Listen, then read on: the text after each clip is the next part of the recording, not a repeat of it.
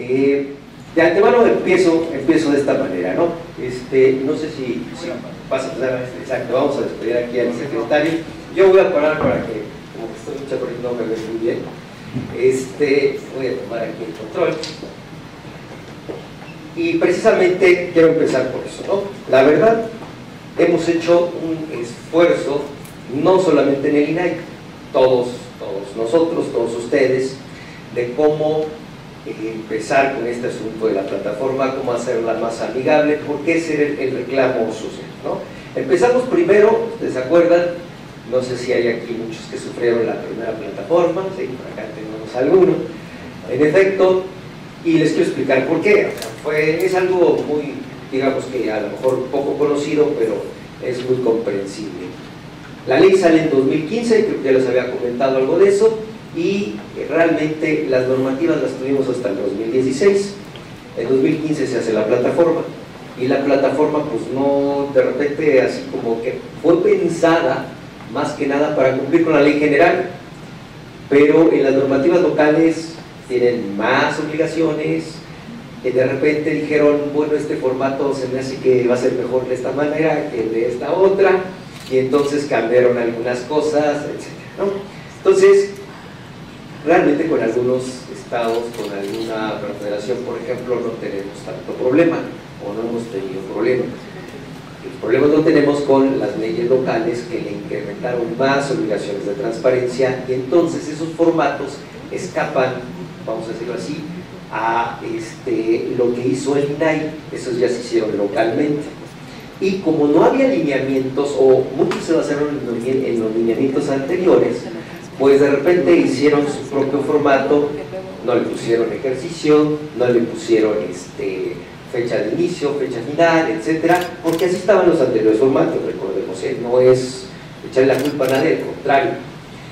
Al final lo que les voy a, comentar, lo que realmente les quiero decir es que esta herramienta la estamos haciendo entre todos, ¿no? Y de hecho esa es la idea, así lo marca la ley, por cierto.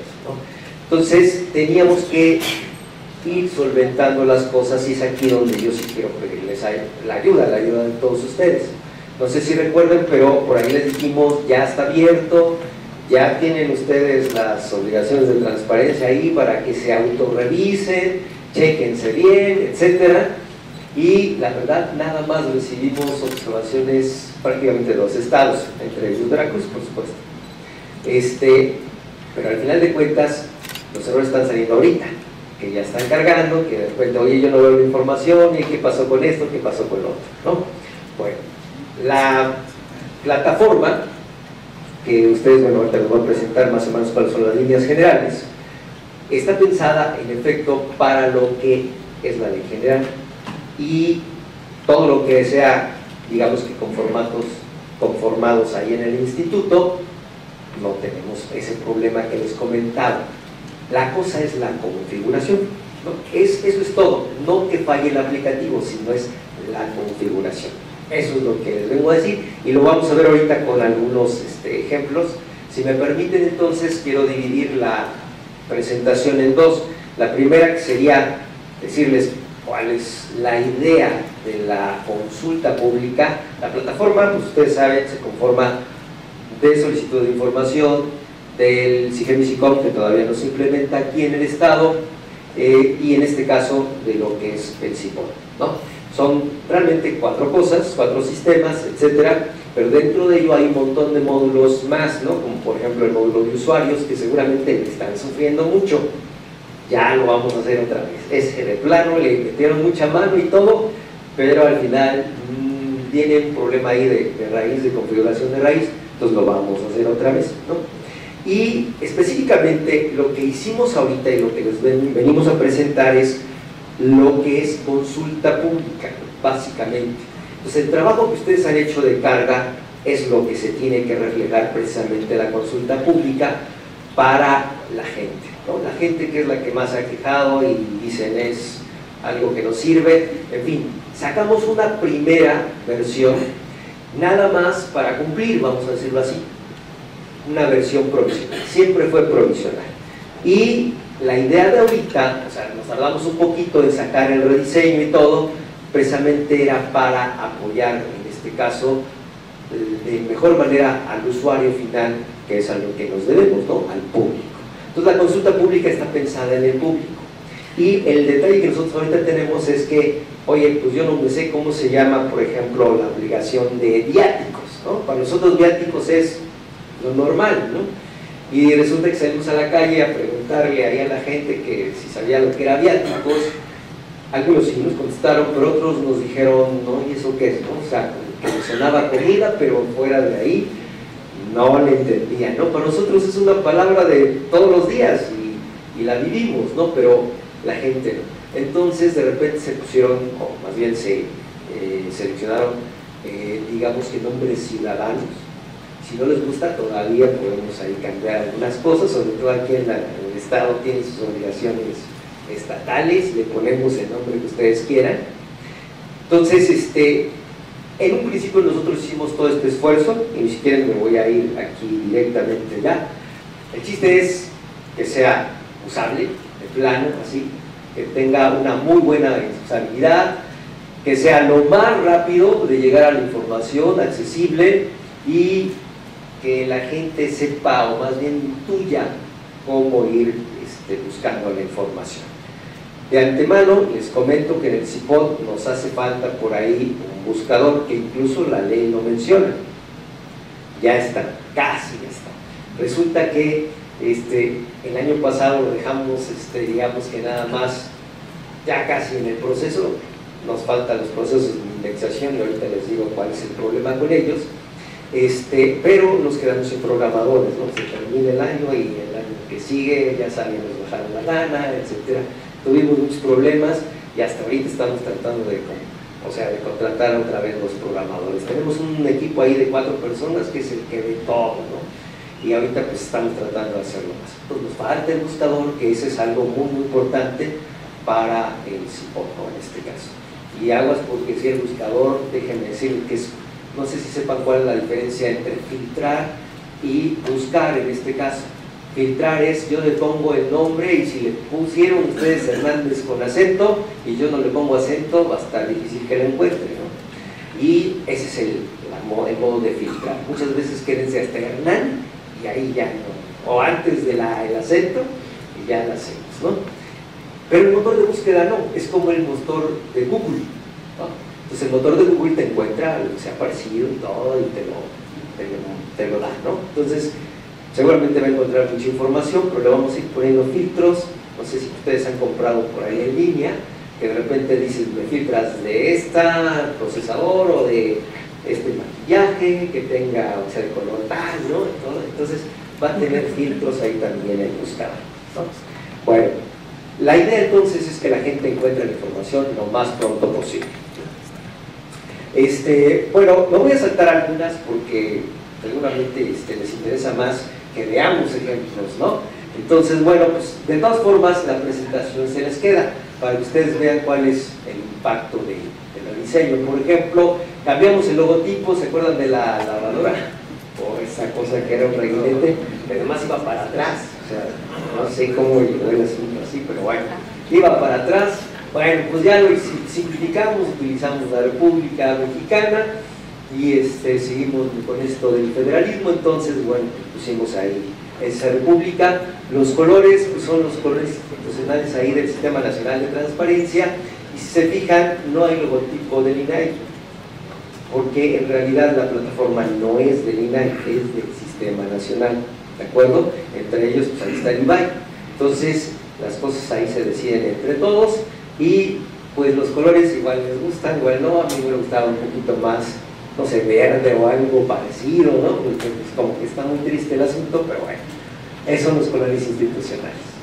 Ok, este, les comentaba de lo de accesibilidad. Nos falta integrar esto, ya está, pero este software es medio complicado, es el Inclusion que nosotros tenemos ahorita. Estamos viendo si lo cambiamos por algo más, porque puede ser que ustedes le conecten aquí un, este, micrófono y entonces por medio de la voz le pueden ir dictando lo que vayan abriendo. No sé si lo han intentado por ahí, medio ya se puede, pero creo que ese software que es gratuito, la verdad es que todo cuesta, ¿no? y este, vamos a buscar algo que sea mucho mejor. ¿no? Por lo pronto, bueno, está también esta página. Ya sé que lo dicten por voz. Bueno, va a llegar el momento en que, no sé si ustedes lo han visto, pero ya hay teléfonos celulares en que ustedes sacan el celular y con la mirada hacia arriba y hacia abajo van este, haciendo que la página se mueva. ¿no? Bueno, tenemos que llegar hasta ese nivel, por supuesto, en algún momento, pero ya hay softwares de ello y sobre todo aquellas personas que tienen problemas de movilidad y todo ese tipo de cosas, lo utilizan. De alguna manera vamos a tener que llegar hasta allá. Esos son los alcances. Vamos a poner la mira muy alto también, ¿no? Bueno, este, voy a saltar esto también. Ah, una, cosa que sí estamos viendo, ya lo pueden ver en el celular. No sé si han visto ustedes este, que la plataforma en su celular. Desde ahí ya pueden hacer solicitud de información, desde ahí ya pueden ver la información de obligaciones de transparencia. Eh, no es una aplicación para el celular. Hicimos el esfuerzo de que la página, la página se viera, o sea, también a la hora de hacer la página pensamos también en los dispositivos móviles. Entonces, por ahí vamos a tener que llegar también hasta ese nivel de poder utilizar también el Inclusion o cualquier otra aplicación de accesibilidad para las personas con discapacidad y que pueda verse, independientemente de que en su momento, cuando tengamos más programadores, vamos a hacer la aplicación específica para los celulares y las tabletas. ¿no? Todo eso está en el proyecto. Ahí tenemos un programa de trabajo bien largo y nos vamos a ir poquito a poquito. Bueno, eh, tratamos también, y ahorita todavía no lo hemos podido lograr porque necesitamos el apoyo de los estados, de hacer un lenguaje pues, lo más ciudadano posible. ¿no? Este, se trata precisamente de, bueno, homologar aquí este, las narrativas. Eh, resulta que, en efecto, la ley general tiene una redacción, sacó una redacción, pero los estados la, utilizaron a veces la primera parte de la redacción y luego le metieron otra cosa. ¿no? Entonces, de repente tenemos dos eh, formatos en una obligación. Normalmente en la ley general también hay varios formatos, por ejemplo el de inventario son hasta siete formatos, etc. Pero eso ya lo teníamos detectado. Cuando llegamos a los estados, le metieron otra obligación que tiene que ver con otro formato y que tiene que ver incluso con otra estructura del formato, no, no con la que generamos nosotros ahí. Entonces meter esa obligación, perdón, ese formato dentro de la obligación nos cuesta un poco de trabajo porque son formatos que al final de cuentas no tienen una equivalencia con lo demás. ¿no? Entonces, si heredaron ese formato, aquí en Veracruz o en todos lados, lo que hagamos centralmente se refleja en todos los demás. Y lo otro, lo que no se ve, por ejemplo aquí cambiaron el formato de sueldos, este, hicieron otro formato, está muy bien, porque así dicen sus lineamientos locales, eso está bien, pero nosotros necesitamos que nos ayuden a decir qué número es de formato, qué, etcétera, para poderlo ligar y ahora sí meterlo en donde iba primero, en la parte de las obligaciones generales, y las obligaciones comunes. ¿Por qué lo pusimos ahorita en obligaciones estatales? Porque ese esfuerzo lo hicimos, no saben cuánto trabajo nos costó. Resulta que hacemos ley por ley, de una por una, más de cuatro, más de cuatro mil formatos, uno por uno. Hicimos, como quien dice, este sí es general, este no, este sí, etcétera, etcétera, y fallamos. Porque al final de cuentas dijeron, no, metieron en el específico, en general, no, pues nos fue como en feria, ¿no? Entonces, lo que hicimos, bueno, vamos a hacer todo, nos pasamos específico y vamos a cambiar el CIPOT, eh, la pantalla en este caso del usuario de organismo grande, para que aquí mismo se diga, esta es general, pertenece a tal, va de este lado, etc. Es más, hasta que le cambien el logotipo que quieran y le pongan el nombre ciudadano que quieran. Eso es lo que estamos haciendo ahorita. Por eso temporalmente van a estar del lado de los específicos hasta que aquí el IBAI diga este es general y entonces ni siquiera vamos a hacer nada porque a la hora de que ellos configuran se cambia automáticamente. ¿no? Eso es lo que estamos haciendo ahorita. Entonces, bueno, tratamos de utilizar una narrativa para todo, ¿no? Y lo mismo en los logotipos, igual en los logotipos, todos, igual más o menos. La verdad es que muchos nos dijeron es que nos copiaron. tal vez, tal vez, pero en realidad utilizamos las mejores prácticas de todo, me gusta decirlo más de esa manera, ¿no? Independientemente de eso, realmente hicimos de uno por uno los logotipos. O sea, sí los hicimos nosotros, uno por uno. Sí copiamos un poquito la estructura de cómo montarlo, los iconos y todo, bueno, o sea, cómo poner los iconos y todo lo demás, pero los nombres ciudadanos y todo eso sí lo hicimos de cero, ¿no? Bueno, esta es la, la pantalla inicial, le quitamos un montón de cosas, acuérdense de cómo estaba ese, pues, chorizo muy grande, déjame ver si lo tengo o no lo tengo, este, ya olvídense de aquella pantalla no muy afortunada que digamos, porque además esta mala fama tiene, se le heredaron a esta, por cierto, todavía esa mala fama, pero bueno, trataremos de que poco a poco se vaya quitando. Nada más les dejamos estas tres opciones, ¿no? O sea, de plan. ¿Qué pasa con el SICOM? Ustedes no lo han utilizado.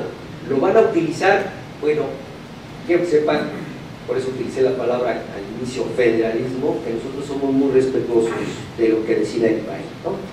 Entonces, ahí la verdad, ellos en determinado momento decidirán si entran o no entran al SICOM, vaya, eso es un órgano autónomo, entonces ustedes y ellos decidirán, ¿no? En todo caso, no lo pusimos aquí porque el SICOM es para comunicarse con ustedes. Entonces el SICOM se trata de que, bueno, si hay un recurso de revisión, les mandan por el SICOM el recurso de revisión, ustedes sustancian por ahí, o sea, mandan por ahí toda la información, sus alegatos, etcétera, y entonces regresa. Es como una especie de correo electrónico con efectos legales. Entonces, en su momento, si el IBAI les manda una notificación y ahí llegó, ya es algo oficial y empiezan a correr los tiempos, ¿no? La respuesta y de todo eso, ¿no? También incluso si se les convoca y todo eso, ya no será por oficio ni por correo electrónico, va a ser también por el SICOM. Entonces ustedes lo único que tienen que hacer es estar pendiente de quienes llegan en el SICOM, ¿no? Van a ser muy pocas veces, pero bueno, de todas maneras tiene efectos legales, es por eso que la ley es muy puntual en ese aspecto, no son cuatro sistemas. Esto de los efectos legales, ojo, ¿eh? porque puede traer responsabilidades. Entonces, no es cualquier cosa. Sé que estamos acostumbrados a que el papelito habla, y si no me traen un papel, yo no estoy notificado.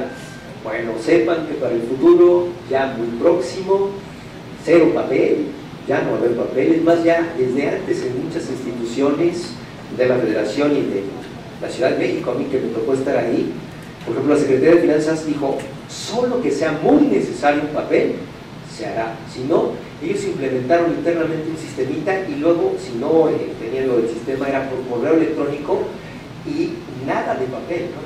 Fue la época de Mario, Mario, Mario de ¿no? El senador, este, de plano, traen esa idea muchos, este, pues ahora funcionarios ya de quitarlo entonces digo, para que se quede con esa, esa situación, en algún momento el papelito va a desaparecer. Y, ¿te acuerdan ustedes de, no sé si tengan por ahí ustedes la fiel, que se llama fiel ahora, ¿no? Se llamaba la FEA. La fiel, que es la firma electrónica, con que ustedes registran ahí en la Hacienda, el SAT, etcétera, también la vamos a implementar en algún momento, ¿no? Para que tenga validez oficial, etcétera. Viene otra situación la ley general de archivos, no la, este, a lo mejor no va, nos va a afectar ahorita a nosotros, pero en un mediano plazo sí. Y ahí precisamente también vienen los tiempos de conservación de los documentos y estoy refiriendo a los documentos electrónicos, que tienen exactamente el mismo tratamiento que el documento de papel. ¿no? Entonces, ojo por eso, porque todo lo que hagan en el SICOM todo lo que hagan, en este caso en el CIGEMI y en el, en CISAI, solicitud de información, incluso en el CIPO, por supuesto, se marca hasta el segundo en que suben información, en que están contestando una solicitud, todo hecho. Entonces, para que vean que eso se va a quedar incluso también como archivo electrónico. Y esas, recuerden ustedes que las solicitudes, por ejemplo, las respuestas de las solicitudes son públicas también. Entonces, no sé si ustedes han por acá. Bueno, ya le quitaron, no, creo que todavía está el buscador, ahorita lo vamos a quitar ya de la pantalla inicial, lo vamos a poner donde de ir, que es en el CISAI. Ustedes buscan solicitud de información, ahí están las respuestas. ¿eh? Entonces, también somos un poquito exhibidos en esa parte. ¿no? Entonces, recuerden, se trata de un sistema completamente electrónico y el SICOM es eso. Es como una especie de correo electrónico de bandeja, etcétera, donde ustedes mandan las respuestas, etcétera, para sustanciar su recurso de revisión, pero también otro tipo de documentos como notificaciones, etcétera, que le hace el instituto y sus respuestas también vienen por ahí. Eso es el SICOM. Sistema de comunicación entre organismos garantes y supervisores. Ok, ese no está. Solamente ustedes lo van a poder ver cuando entren con su plan. Bueno, bueno. este es el CISAI. El CISAI.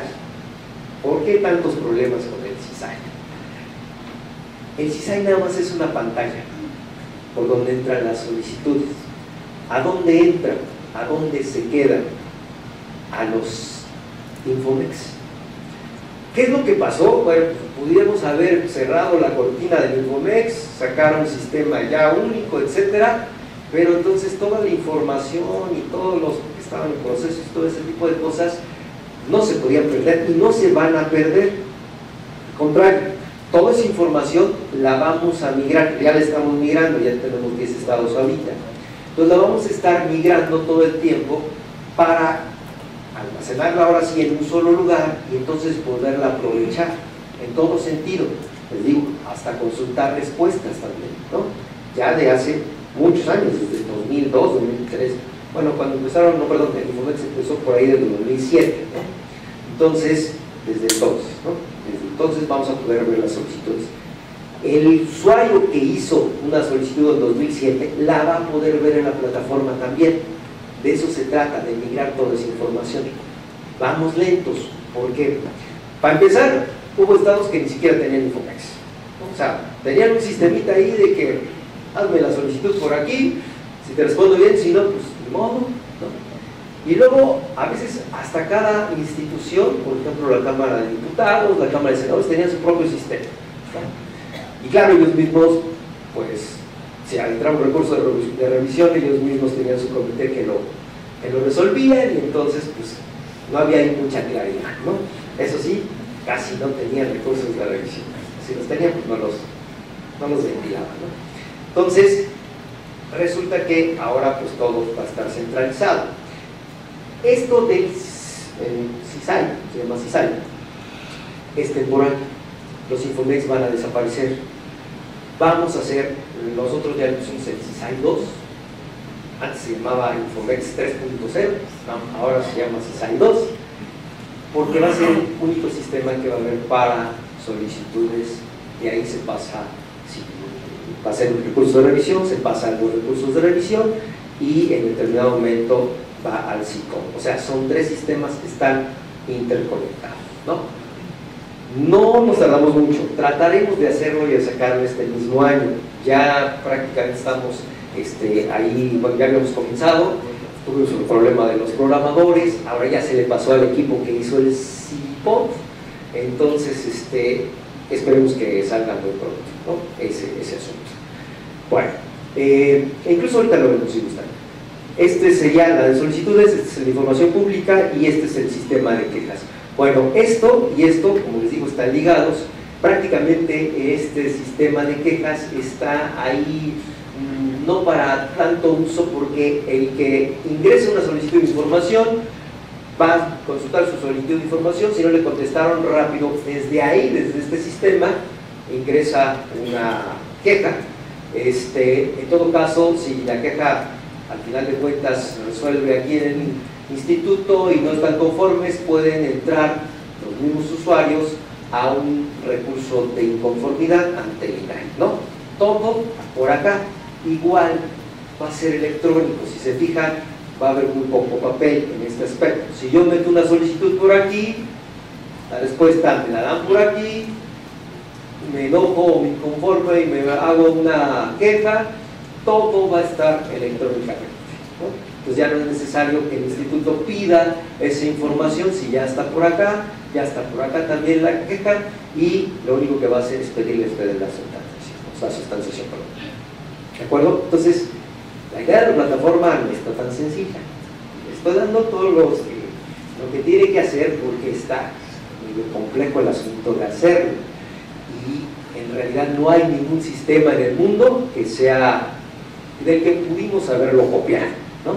Estamos inventando sobre la marcha, la verdad. Cuando nos encontramos con problemas como el que me estaba comentando la, compañera, sobre la marcha lo estamos solucionando. Bueno, esto es lo que les decía, hicimos, eh, bueno, son 48 obligaciones este, comunes, 122 específicas, más 258 de la Ley General, de la Ley Federal, perdón, de Transparencia, entonces hicimos más de 2.000 nombres ciudadanos, este, y 32 íconos estatales, por cierto, también, no como, aquí no lo tengo, pero son 158 íconos los que se hicieron, este, en fin, ¿no? tratando de hacerlo lo más sencillo posible en lenguaje ciudadano, ya sin tecnicismos, de que remuneraciones ni nada de eso, sueldos, ¿no? Se llaman sueldos. Ok, bueno, no voy a saltar esto. Ustedes ya vieron más o menos cómo, cómo buscar la información. Si me lo permiten, me gustaría irme mejor directamente a esta parte, este, para que vean cómo, cómo se ve la información, pero también eh, quisiera que, este, eh, veamos un, asunto muy importante que es la parte de la denuncia.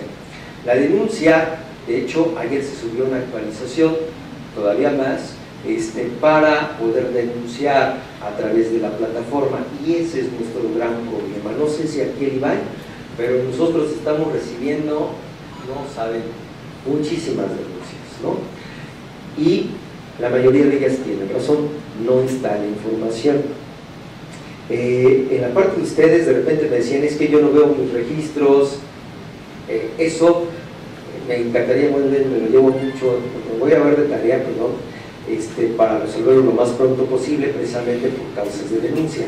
De todas maneras, quiero que se queden tranquilos. Si ustedes tuvieron información y tienen modo de mostrarlo, no se preocupen, no va a proceder pero también nosotros tenemos modo de ver si subieron la información, pero lo que nos están haciendo mucho es trabajar por administración de información o borraron dos o tres registros por ahí, o bien la borraron toda por la parte de opciones avanzadas y obviamente ustedes tienen su registro, su, perdón, su este, acuse de comprobante de carga, ¿no? Bueno, nosotros tenemos saber, la manera de saber exactamente a qué hora se metieron, qué metieron, cuántos borraron, de qué fracciones, todo. Incluso esa bitácora de carga se las pusimos a ustedes también, para que en determinado momento ustedes vean con sus áreas, y a lo mejor les van a decir lo mismo que a nosotros, oye, pues yo, yo subí aquí 20, y nada más me aparecen 12. Entonces ustedes ven ahí en la bitácora, en la parte de administración, por ejemplo, que es la que no, no queda huella, sí queda huella, por supuesto, y entonces ahí ven que en efecto bajaron 8, ¿no? Así de un jalón o lo pueden ir bajando de uno por uno. Estaba viendo que les están bajando de uno por uno, la misma fracción, no saben que del lado izquierdo se puede poner una palomita y entonces ahí salen. bajan todos, ¿no? Los que palomean. Entonces, ojo ahí, este, ustedes tienen también, creo que todos son este, unidades de transparencia, ¿no? Sí, o si no hay algunas áreas, bueno, sepan las áreas que están vigilados también por su unidad de transparencia. Entonces, ustedes pueden saber perfectamente bien.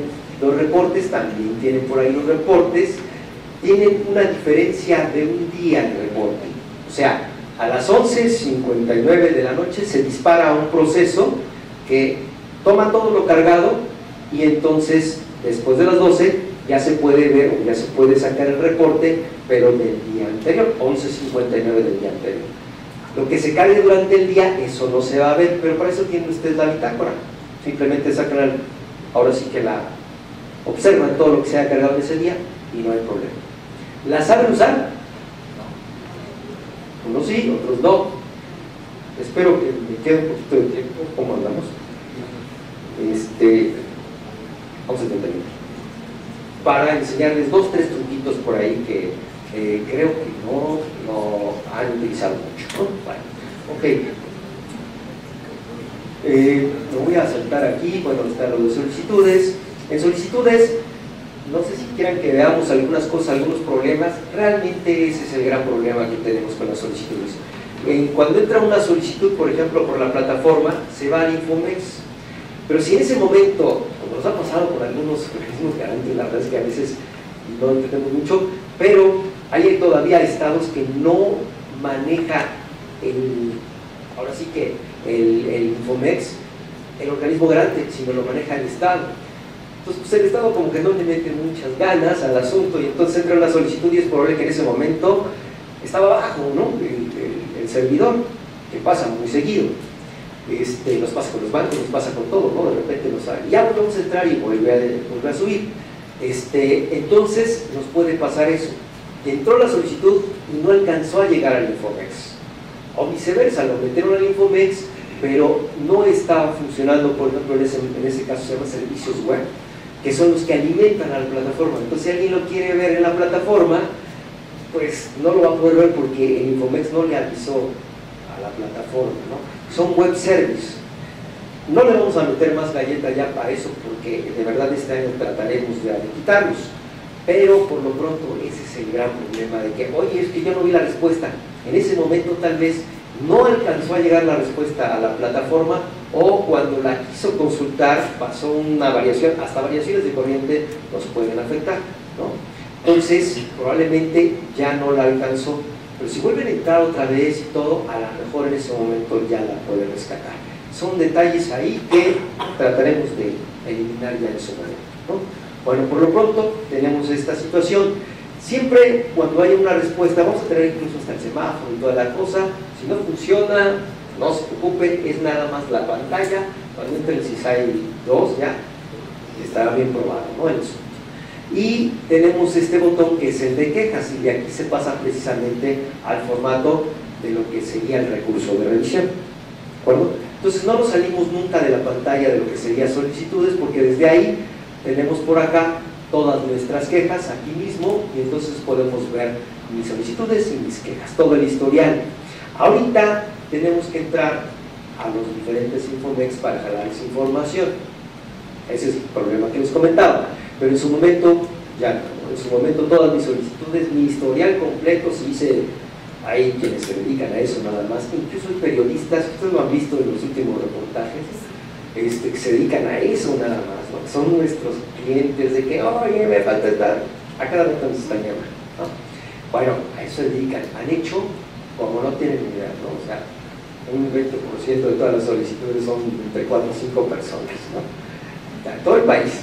Entonces, en efecto, el periodismo de investigación y solicitud de información han descubierto muchas cosas. Ustedes recuerdan el caso de la Casa Blanca, ¿no? Si ustedes se fijan, todo el, digamos que el reportaje dice, por solicitud de transparencia, no dice información, dice, por solicitud de transparencia descubrimos esto, para, Sí funciona el derecho de acceso a la información, ¿no? Bueno, esto es lo que sería este, ya las quejas y las solicitudes, ¿no? Este, ¿Algunos de ustedes han hecho solicitudes? ¿No? Qué raro porque los funcionarios públicos son de los que más solicitudes hacen. Por ahí le llaman fuego amigo y me cae mal aquel y en fin, etcétera, ¿no? Entonces, este, bueno, si gustan hacemos una solicitud para que vean lo, más, bueno, lo sencillo que es hacerla, ¿no? Ok, este, bueno, esto es lo que sí les comentaba y a lo mejor tenemos una idea, porque sí nos fuimos más a la calle que acá, ¿no?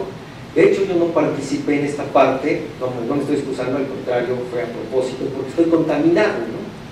Yo andaba buscando viáticos y nunca me encontré, es que no se llama viáticos, se llama gastos de comisiones oficiales, no, pues jamás, ¿no? Entonces, la verdad es que ando contaminado, igual algunos funcionarios pero nos fuimos a la calle y es precisamente estas experiencias de usuario.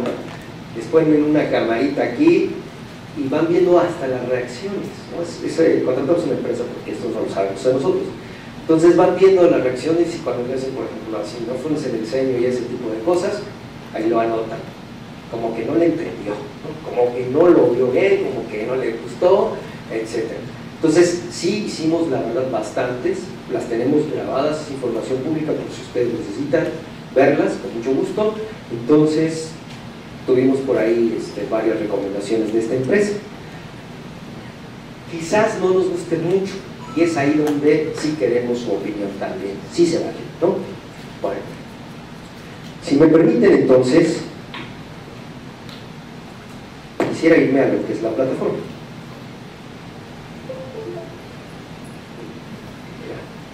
El control. Bien, aquí está. En la presentación faltaba esta, del buscador de solicitudes. Este, la vamos a poner en la parte de solicitudes. Ahorita por lo pronto nos obligaron casi casi algunos, estos que les digo que son periodistas, este, ¿cómo se dice? De, investigación, nos, se quejaron inmediatamente, oye, no está el buscador, ¿no? Está bueno, ahorita le ponemos aquí, por ejemplo, la palabra presupuesto, le doy un enter para buscar y me va a llevar nada más a algunos sistemas. Mira, si encuentra las solicitudes, todo lo que tenga la palabra presupuesto, aquí está presupuesto, aquí está, aquí está, incluso es dentro del texto de la solicitud. Estos son motores de búsqueda. Y, por ejemplo, solamente tenemos por lo pronto, pero ver todos, estas entidades en donde hemos estado importando la información. No son todas, este, por lo pronto, pero sí podemos llegar a esas solicitudes. Y el problema que tenemos ahorita es que se tarda un poquito porque va a los Infomex. Ese es nuestro gran problema, ¿no? Seguimos con ese mismo problema. Por eso es que se tarda un poquito. Entonces, este, ya cuando tengamos un motor de búsqueda aquí, va a ser tipo Google, lo encuentra de inmediato. Y además encuentra millones y millones de registros, ¿no? que es lo que les comentaba, aquí están los filtros que vamos a ir este, implementando para llegar a la información que realmente nos interesa. Voy a contarle aquí. Bueno, aquí están. Aquí están las entidades, etc. Aquí hay incluso, eh, por ejemplo, del gobierno federal hay nada más 78 mil. Bueno, son los resultados que encontró de la palabra presupuesto, ¿no? 78.738, etc. Y aquí pueden ver ustedes los resultados de la palabra presupuesto. Tipo Google, tipo Google, ¿no? Que le haga comercial al Google, pero bueno, es el más conocido. Ok, me regreso aquí a la pantalla inicial. Lo de quejas, les comentaba, déjenme entrar nada más aquí rápidamente. Eh, voy a entrar con, bueno, con mi clave real.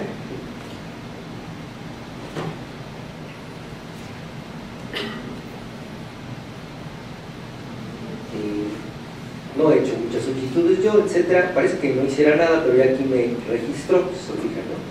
Entonces le doy aquí solicitudes, acá abajo está, puedo hacer de datos personales, puedo hacer de acceso a la información e ir a mi historial, ¿no? Si quiero hacer una solicitud, por ejemplo, le doy aquí y me sale el formulario. Se fijan, ya es un formulario que, bueno, trae mi nombre precargado, precargado, perdón, este, tenemos aquí ya directamente lo que tengo que hacer es rápidamente buscar la información, o más bien, perdón, la información de la solicitud, que sería el Estado, primero que nada, vamos a hacer algo de Veracruz, este, la institución, aquí está la institución, esto lo vamos a arreglar en su momento porque necesitamos ponerle, por ejemplo, aquí este, instituto, ya directamente para que se vaya al instituto de transparencia. Ah, no, aquí se llama de qué? De acceso. Ah, de la cruzada, tiene razón. Aquí está, aquí está, ¿no? Y aquí le ponemos la solicitud, ¿no? En este caso, por ejemplo, presupuesto asignado, perdón, no le puse aquí.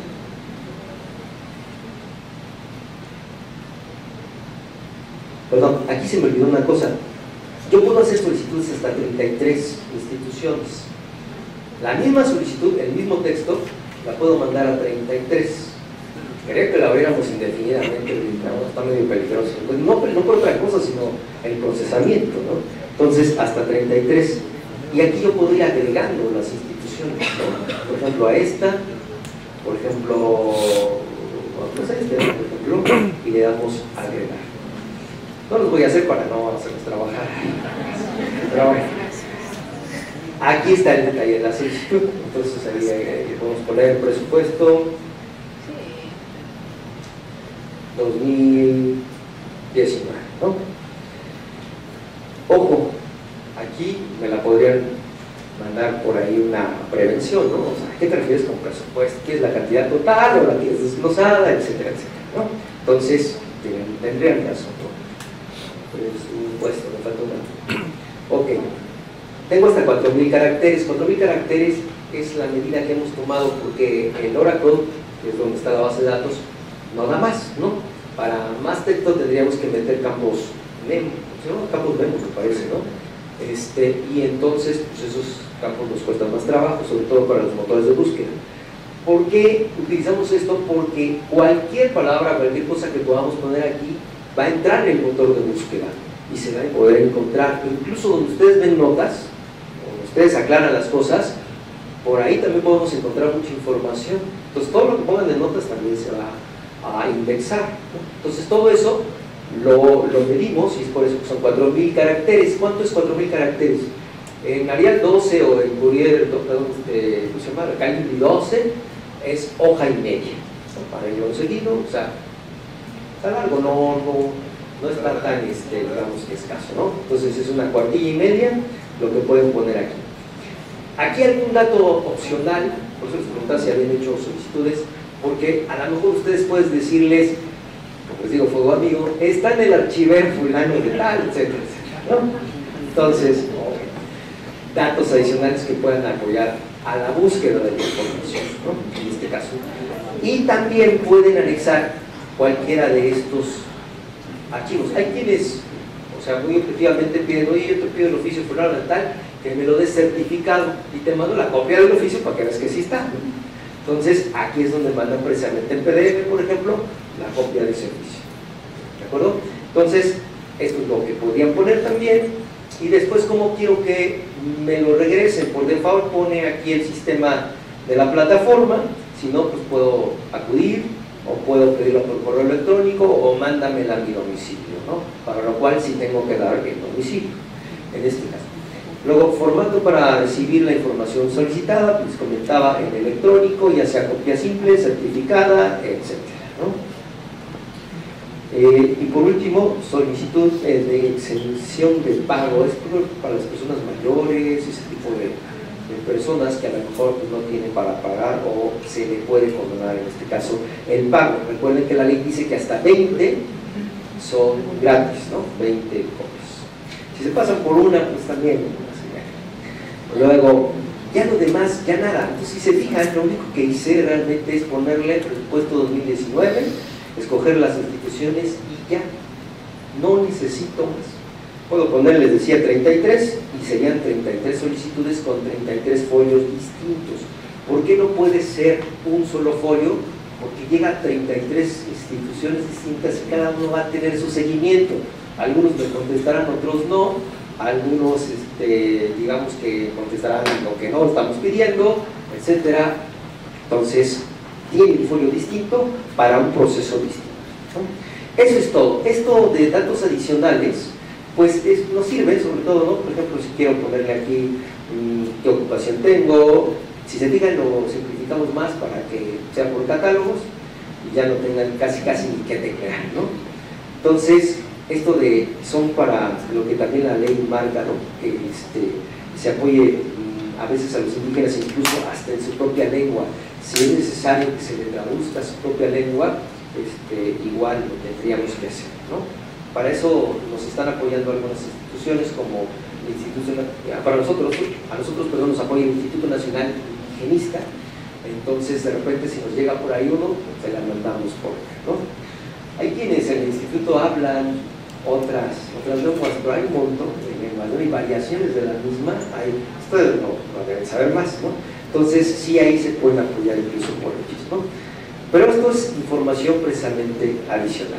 Lo único que tendría que hacerlo aquí es, sí leí el aviso de privacidad, siempre el aviso de privacidad, por supuesto, y enviar la solicitud. Así de sencillo es. Cuando ya la envío, rápidamente, voy muy rápido en esta parte, ustedes quieren registrar y hacer las cosas, con mucho gusto este, este, los apoyamos, por supuesto, también aquí en el instituto, pero ya cuando hice la solicitud, me va a salir aquí. Es más, a veces siempre va a ser necesario que yo le diga dónde hice la solicitud. Lo mismo que este, al seleccionar el estado. Por ejemplo, si yo le pongo aquí federación, ya no es necesario que le ponga más. Si tengo muchas, pues a lo mejor sí va a ser importante que le ponga un rango de fechas. Pero si no, nada más le doy buscar y entonces me tienen que aparecer las solicitudes que he realizado. El botón de queja, ¿por qué se va a quedar si todavía, bueno, si esto fue en 2018, en 2017, en 2016? Nos pidió que se quedara ahorita temporalmente, pero obviamente ya no procede. Tienen en la federación, eh, tenemos 15 días para hacer esa interposición del recurso de revisión. Entonces, de todas maneras, se queda aquí. Y si yo quiero ver algo, ya nada más aquí, y aquí puedo ver en este caso hasta la respuesta, ¿no? la respuesta que me dieron, la puedo bajar, etc. Eso es mis solicitudes y puedo hacerlas a todos los estados, ¿no? desde una sola cuenta, que eso es lo importante del CISAI en este caso. Si quiero quejarme, fíjense qué fácil es, ya no necesito entrar al CIGEMI, ya nada más le doy aquí queja y me manda al CIGEMI, cambio de sistema, pero ya me da los datos que voy a utilizar en este caso lo único que tengo que hacer es poner de qué me estoy quejando, si acaso anexo, si yo quiero, la respuesta, si no, ya está la respuesta ahí, y entonces va a ser muy sencillo para el usuario.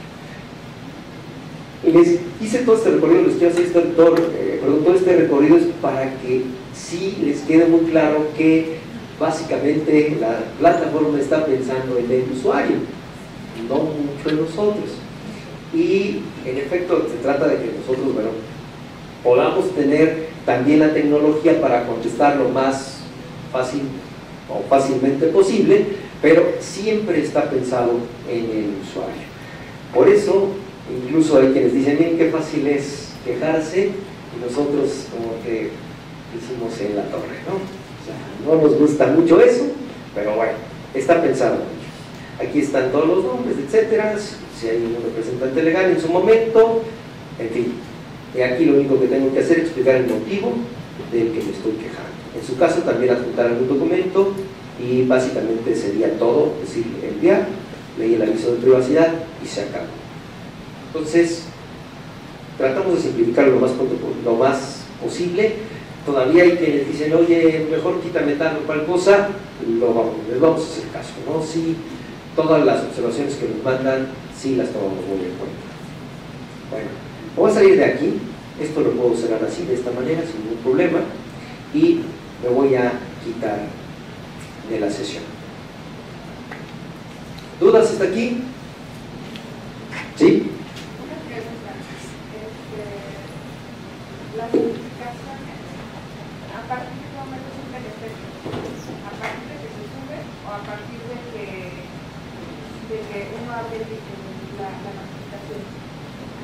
Las notificaciones de... Las notificaciones de la respuesta para poder poner la queja un efecto a partir de que uno sube la respuesta o a partir de que ellos abren el, No, a partir de que sube la respuesta. Ah, Una pregunta más. Yo estoy en el área de sindicatos. Eh, mm, pues ya hay algunos sindicatos que pueden solicitar este, información de otros sindicatos, ¿no? Entonces hay quienes ya se han molestado y me han dicho a mí, oye, quiero que me notifiques cuando te pidan una solicitud de mi sindicato y que me digas quién lo está haciendo, ¿no? Y me dicen, ¿y con quién me puedo este, quejar, ¿no? O a quién, no te puedo meter mi amparo, o a quién tengo que ir a ver, porque pues esto es información que es mía, ¿no? Y que no recibo, así me han dicho, ¿eh? Me han dicho, no recibo recursos de gobierno, no tienes por qué dar información, y entonces tengo ahí como que, pues esa presión, ¿no? O sea, ¿qué les digo en esos casos?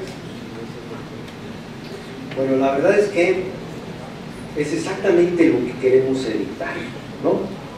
La, la amedrantación, ¿no? O sea, que, alguien vaya y este, inhiba el derecho de acceso a la información. Eso es completamente ilegal, ¿no? Lo que están pidiendo es ilegal para empezar, ¿no? Tienen derecho a preguntar lo que sea.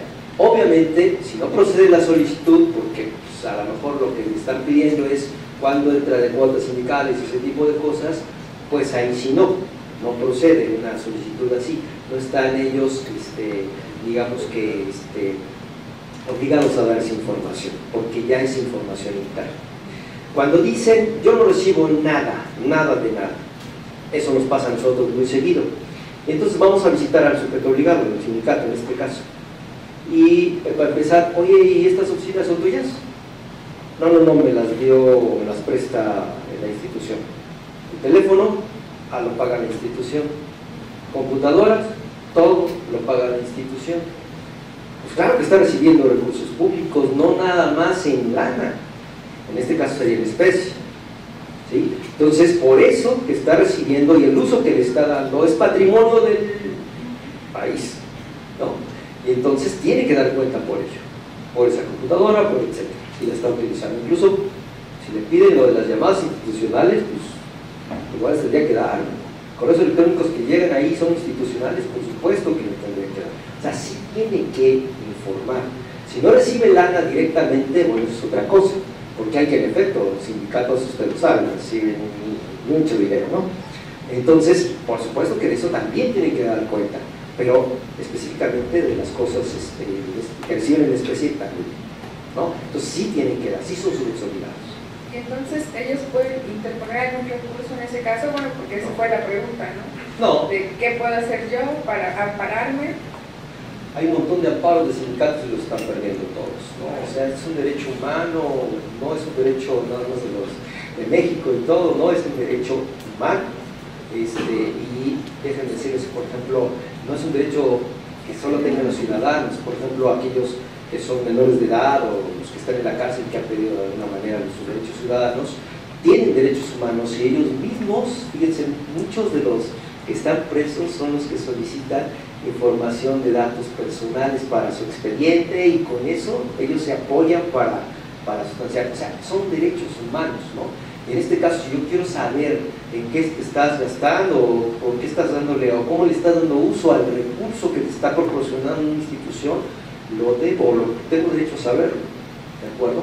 Entonces no puedes cortar ese derecho al acceso a la información, eso es lo que estamos tratando de evitar. Lo que te están pidiendo sí es ilegal, para empezar, una. Y dos, este, al final de cuentas son, como les comentaba, solicitudes que, que quedan, ¿no? Este, al público, etcétera, quizá los nombres no, en algunos casos, pero lo demás queda abierto. Si es que él quiere saber qué le están pidiendo, etcétera. Lo que sí hay que diferenciar qué es lo que sí puede dar el sindicato y qué no. Si quieres específicamente, le puedes preguntar aquí al organismo garante que sí, que no, pero de antemano te digo las cuotas no, eh, todo lo que hayas incluso comprado, adquirido con patrimonio del sindicato, eso no lo tienes que, que decir, no, lo tienes que dar. Pero todo lo que te da la institución, eso sí. ¿no? Sí, es la versión pública. Y además eres sujeto obligado porque lo dice la Constitución ya soy sujeto obligado. ¿Qué es lo que puedo dar y qué no? Eso sí que me quede muy claro. Hay cosas que no puedo dar. El patrimonio del, sindicato son de alguna manera pues, personas de este, interés, aunque son de interés público, también tienen una parte de interés privado. Solamente con sus agremiados. A ellos sí les tienen que dar cuentas rendir cuentas, ¿no? según la ley, la ley del trabajo. Pero por lo demás. Eso es lo único. No les dé miedo ser obligados hay cosas que sí deben dar, hay cosas que no. Así de simple. Eso tiene que. Gracias. No sé si hay alguna otra duda. ¿Respecto? Ok. Bueno, yo diría que la joya de la corona es el CIPOT, porque se supone que de las obligaciones de transparencia que tenemos que informar, al final de cuentas, pues ahí va a estar todo, y si no, de ahí se deriva todo lo demás. Entonces, a la hora de yo buscar información este, pública, la verdad es que las leyes, en determinado momento, por ejemplo la ley general, este, le metí muchas obligaciones, 48 obligaciones comunes para todos, no todas, les aplican a todos, por eso el artículo, eh, al final, en este caso el último párrafo del artículo 70 dice que ustedes tendrían que ver que les aplique y que no obviamente el órgano les tiene que validar, ¿de acuerdo? Porque hay quienes dicen, a mí no me aplica nada. Por supuesto que sí. Entonces, el órgano garante tiene que hacer ese trabajo junto con ustedes. Pero hay, por ejemplo, quienes tienen deuda pública y quienes no. Entonces esa no tendría que tenerla, ¿no? No deberían tenerla, etc. En fin, lo que sí, sí son un montón, ¿no? Y además tengo específicas. No sé si hay aquí partidos políticos que fueron los que más, digamos que más este, información tienen que dar. No, no lo vean del lado negativo somos los más perjudicados, no, no. Son los que más eh, obligaciones de transparencia tienen, porque tienen 30 específicas, además, ¿no? de las que les toca el artículo 70. Entonces, es un catálogo muy grande y la idea es precisamente yo publicarlo y ya que no me pregunten, pues ahí está, ¿no? Ahí está la información. Entonces, de eso se trata en este caso el CIPOT, de adelantarnos a las peticiones ciudadanas y ponerlas ahí. Y después vamos a tratar de hacer herramientas, que no sé si ya las vieron y que se las vengo a presentar, para aprovechar esa información. ¿De acuerdo? Bueno, bien. Si yo entro aquí, me va a dar lo que es consulta pública. Voy a cerrar estas para no, para no este, entretenerme. Antes, déjenme decirles una cosa, no sé si ya lo vieron, está acá abajo, esto de guías. Este, son videos por ahí de cómo utilizar la plataforma. Aquí están todos. Entonces le pedí aquí que nos prestaran el audio y entonces, déjenme pasarles nada más. Parece que duran cinco minutos y todos nos vamos a llevar aquí todo el rato. Pero bueno, nada más el comienzo. La Plataforma Nacional de Transparencia es el espacio en el que puedes ver todo lo que hacen las instituciones públicas de México y es también el medio para solicitarles información. Por eso es importante conocer cómo funciona cómo explotar al 100%. Hoy nos enlazaremos con un experto en el tema que nos podrá aclarar varias dudas que cualquiera de nosotros puede tener al respecto. ¿Qué tal, Diego? ¿Qué tal Marta? Con el gusto de platicar acerca de esta plataforma con la que la gente tiene a su alcance la información de más de 8.000 instituciones públicas del país. Un número impresionante sin duda, pero ahí quizá está la primera duda de cuáles son algunas de esas instituciones. Por ejemplo, el IMSS, el ISTE, la UNAM, los bomberos, el Infonavit, la CFE, la policía, el INAI, Profeco, cualquier municipio de nuestra república, Pemex, UNICEF, el INE, todos los partidos políticos y bueno, muchos más. La siguiente pregunta lógica sería, ¿para qué sirve a la ciudadanía la Plataforma Nacional de Transparencia?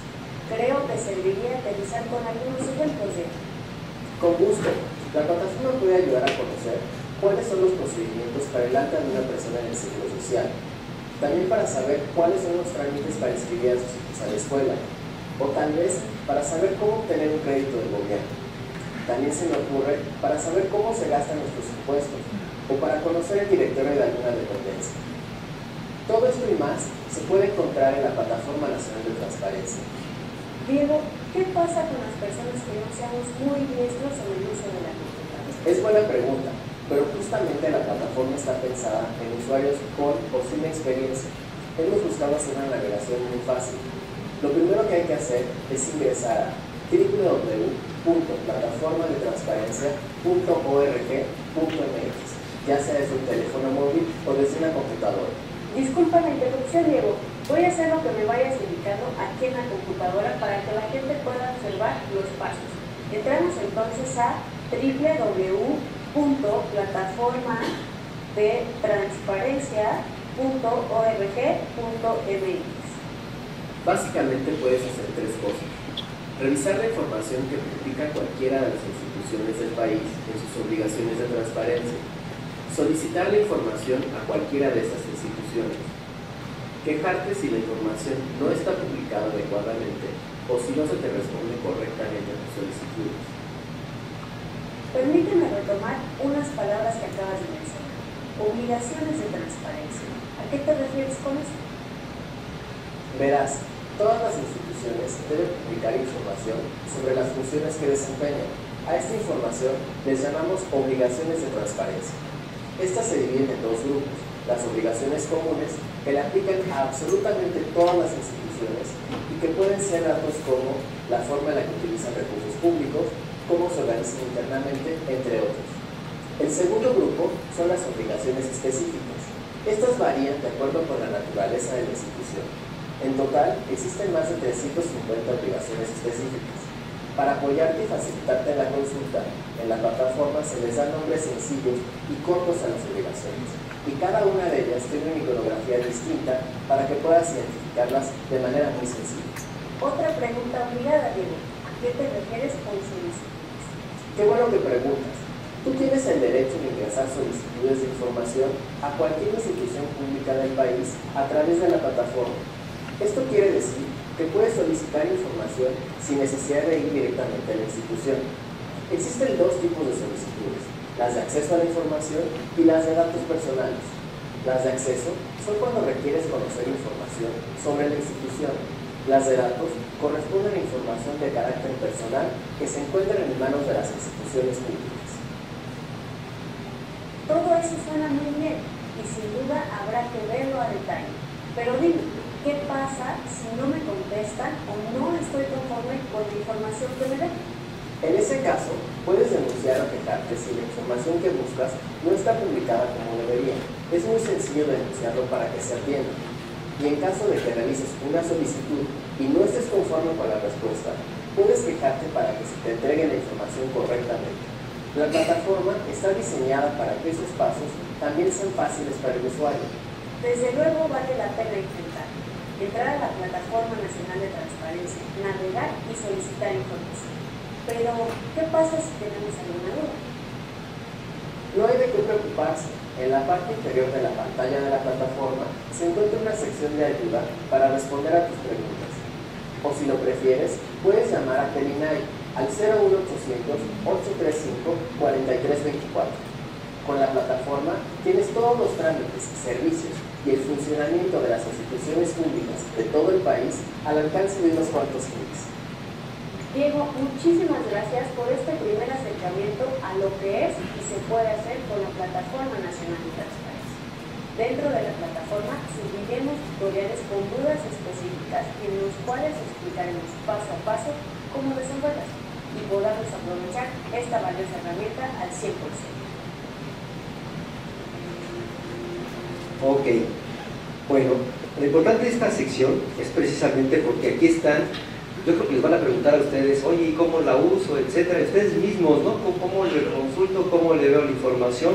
Fíjense, aquí está cómo denunciar, cuando una institución no publica información, cómo registrarse, cómo realizar una solicitud de acceso, todos son videos, tratamos de hacer mejor videos, son caseros, no salen tan mal, ¿no? Están más o menos bien. Son, la verdad sí son caseros, lo hicimos nosotros. Este, de todas maneras aquí están más o menos los pasos, etcétera. Aquí están todos, ¿no? Para que en determinado momento ustedes les digan a, alguien que les pregunte todo eso, mira, ¿qué te parece si revisas las guías? Y si no, yo te apoyo con mucho gusto, etcétera, porque además estamos obligados a hacerlo. Entonces, de todas maneras, aquí las guías es precisamente esta parte y nos da hasta esto, ¿no? Como revisar el estatus de mis quejas, etc. Entonces, echen una vista por ahí a los videos, a ver si les gustan. Los vamos a ir mejorando, por supuesto. Este, y mientras sí, la verdad, tenemos urgencia de salir y lo hicimos nosotros mismos, ¿no? Bueno, ahí les dejo esta guía para, o las guías para que ustedes lo vean. Este, otra, otra guía que no sé si sepan que exista, este, está en el INAI, en la página del INAI. Eh, si no puede entrar directamente, pero bueno, lo voy a poner aquí.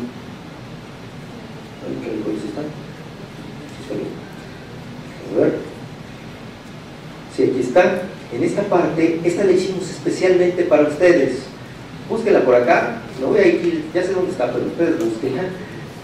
Porque pusieron un montón de cosas aquí que bueno. Aquí está guía instructiva para el uso del CIPOT. Este es especial para ustedes. Exactamente, es para la carga, la, este, cómo cumplir aquí con obligaciones de transparencia, etc. Este, trae por ahí algunas otras dudas, eh, algunas preguntas frecuentes. De hecho, si ustedes quieren hacer el curso en línea, pueden meterse al seminar, este, lo hacen en línea, esperen que ahí que ver algunos este, exámenes muy sencillos, etcétera, y tienen derecho a su diploma, a su reconocimiento. Entonces, si se fijan, aquí están, por ejemplo, módulo 2 y módulo 3. Módulo 3 sería las unidades de, de, transparencia o las unidades administrativas, este, cómo se requiere para trabajar, o qué se requiere, perdón, en el CIPOD, cómo ingresar, etcétera, etcétera. Incluso aquí está como cargar información en archivos de Excel con campos tipo tabla, relación básica, relación múltiple, etc. ¿De acuerdo? Por si tienen algunas dudas, aquí está todo. Incluso si les digo que echarse todo un tour por este módulo, por este, esta guía instructiva, perdón.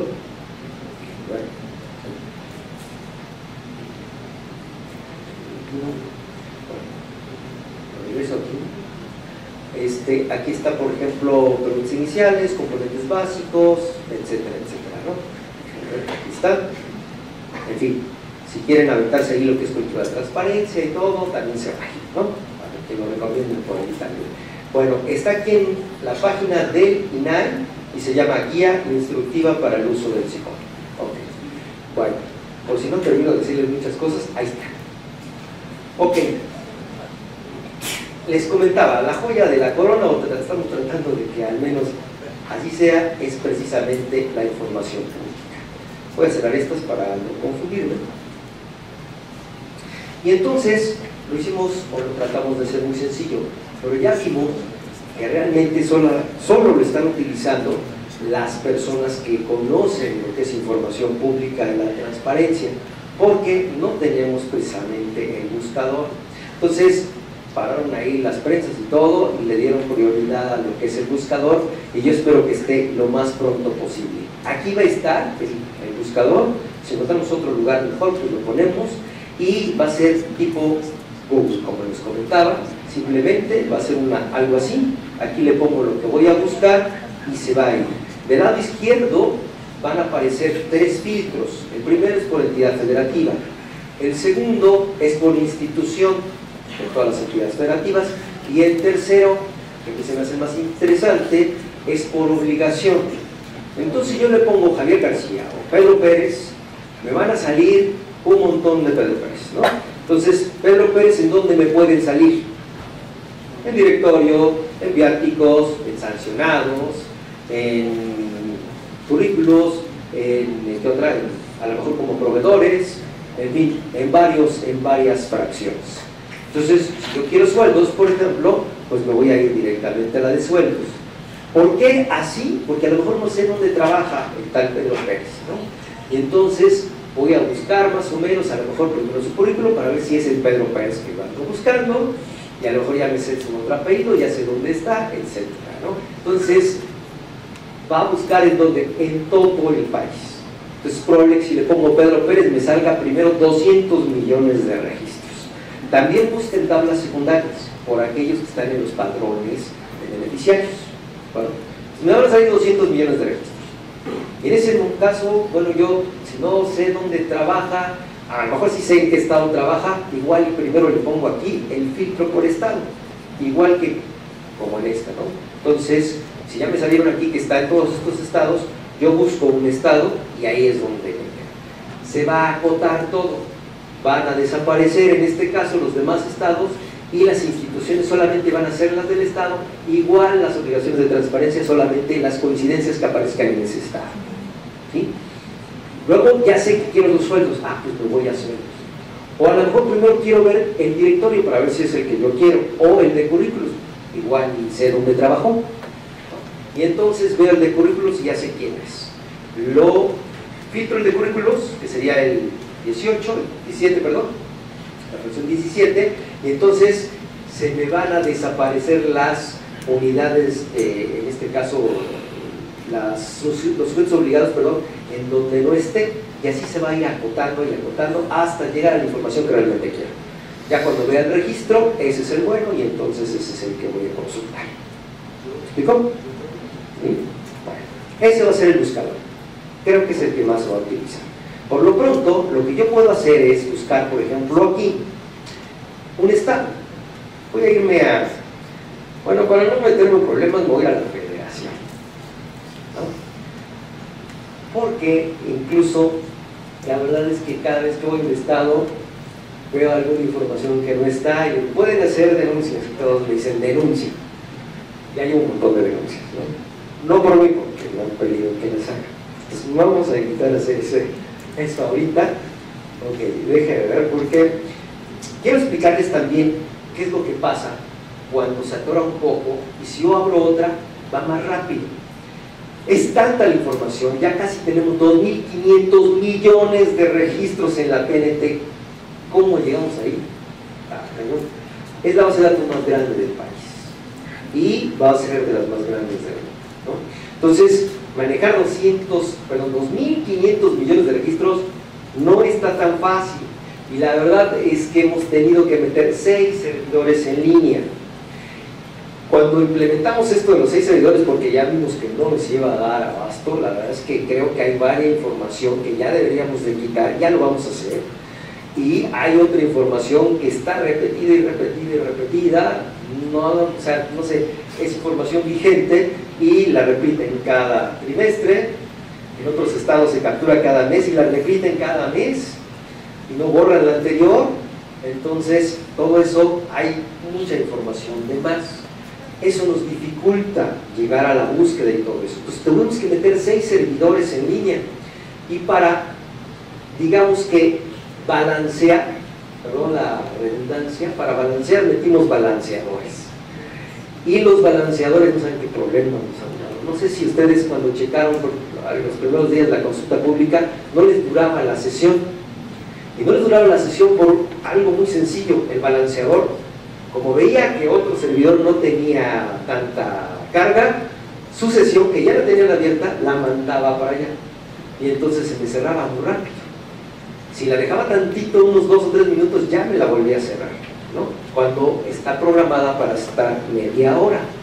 Entonces, los balanceadores nos dieron tanta lata que de verdad ya no sabíamos muy bien qué hacer, porque hicimos por ahí algo, digamos que el proveedor nos dijo, pero como que no funcionó, etcétera, hasta que no comprobamos cuál era el problema. ¿no? Entonces, ese era el problema de los balanceadores, ya no sucede tanto hicieron por ahí un paliativo. Apenas lo vamos a arreglar porque lleva un proceso que se llama de clusterización, que es muy complicado. Y ya lo estamos haciendo, ¿eh? ya estaremos dentro de poco solucionando ese problema. Pero ese mismo problema de los balanceadores, seguramente ustedes lo han sufrido cuando están cargando. De repente le sale un error 100. ¿No? ¿No han visto que en el lado derecho le sale un numerito bien chiquito? es el error 100, se lo pusimos a propósito para saber qué era ese problema, el 100, porque nada más le regresa el logotipo. ¿Sí les ha pasado? ¿No? Ah, que bueno, alguno Bueno, es un problema de balanceadores que ya va a quedar solucionado. ¿no? Entonces, de repente, a lo mejor me tardo mucho en estar consultando una, pero abro otra, otra página, y en la otra se tarda menos. Es el problema de estar balanceando unos van a estar muy ocupados con carga, porque ah, déjenme decirles que en una sola base de datos se carga, se consulta y se descarga. Y hay quienes le han dado vuelo a la descarga y descargan todo. El otro día había un proceso de 24 millones de registros.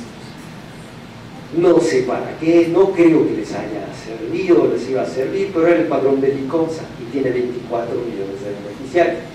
Entonces, pues como que bueno, yo la verdad no entiendo por qué querían el padrón, con que buscar el nombre era necesario, pero bueno, ya se han dado bueno. Y ese es nuestro gran problema, que tenemos que atender las tres cosas al mismo tiempo. Ok, yo lo que voy a hacer es, voy a irme otra vez, justo, por ejemplo, aquí Federación. Si les digo, si se tarda un poco, abran otra sesión, etcétera, por ejemplo aquí, no tiene ningún problema para hacerlo, y entonces busco, por ejemplo, voy a buscar al INAI alguien que les caiga gordo, bueno, Ok, aquí veo la información. Lo que, cuando yo hago esto, ya se va directo a lo que serían las obligaciones. Si se fijan, primero puse el Estado y luego el INAI, llevo dos pasos, nada más dos pasos. El tercer paso es llegar ya a la información. Miren, por ejemplo, vamos a poner lo de viáticos que les decía, ahora se llama gastos en comisiones oficiales, le doy un clic y me va a dar la información. Y aquí es donde vamos a tener problemas. Perdón. También nos va a dar gráficas, claro. De hecho, eso de las gráficas, pusimos unas cuantas, vamos a irlas, este, eh, digamos que mejorando. Eh, de hecho, algunas creo que no aplican, porque es como información repetida, sumada. Entonces, están temporales ahorita. ¿eh? Va a haber más gráficas todavía. Miren, está acá en la parte de abajo. ¿no? Pero bueno, lo que les quiero explicar es qué se pinta y por qué no se pinta. ¿Qué se pinta ahorita? Por default, en la federación, por ejemplo, me va a dar el último trimestre cargado. No que no pueda revisar toda la información. Esta, por ejemplo, obligación, ¿qué periodicidad debe tener o qué más bien qué tiempo de conservación debe tener? El año en curso y el año anterior. O sea, yo puedo o debo poder consultar lo del 2018, pero para que me pinte algo, por default nada más me va a pintar el primer trimestre de 2019, que es el que tiene que estar cargado. ¿Hasta cuándo me lo va a dejar de pintar? En este caso, hasta el segundo semestre, cuando yo le esté cargando, pero específicamente cuando termine el mes de carga. ¿Cuándo se carga el segundo trimestre? En julio. En julio empieza la carga. Cuando termine julio, se va a pintar el segundo trimestre y ya no el primer trimestre. Esa es la lógica. ¿Qué pasa con las obligaciones que son vigentes? Como directorio, hay 42 formatos de obligaciones vigentes. Voy a contar los este, 48 obligaciones comunes y también las específicas. En la ley general, 48, 42 formatos. No son poquitos. ¿Qué pintamos ahí? Tenemos un problemita.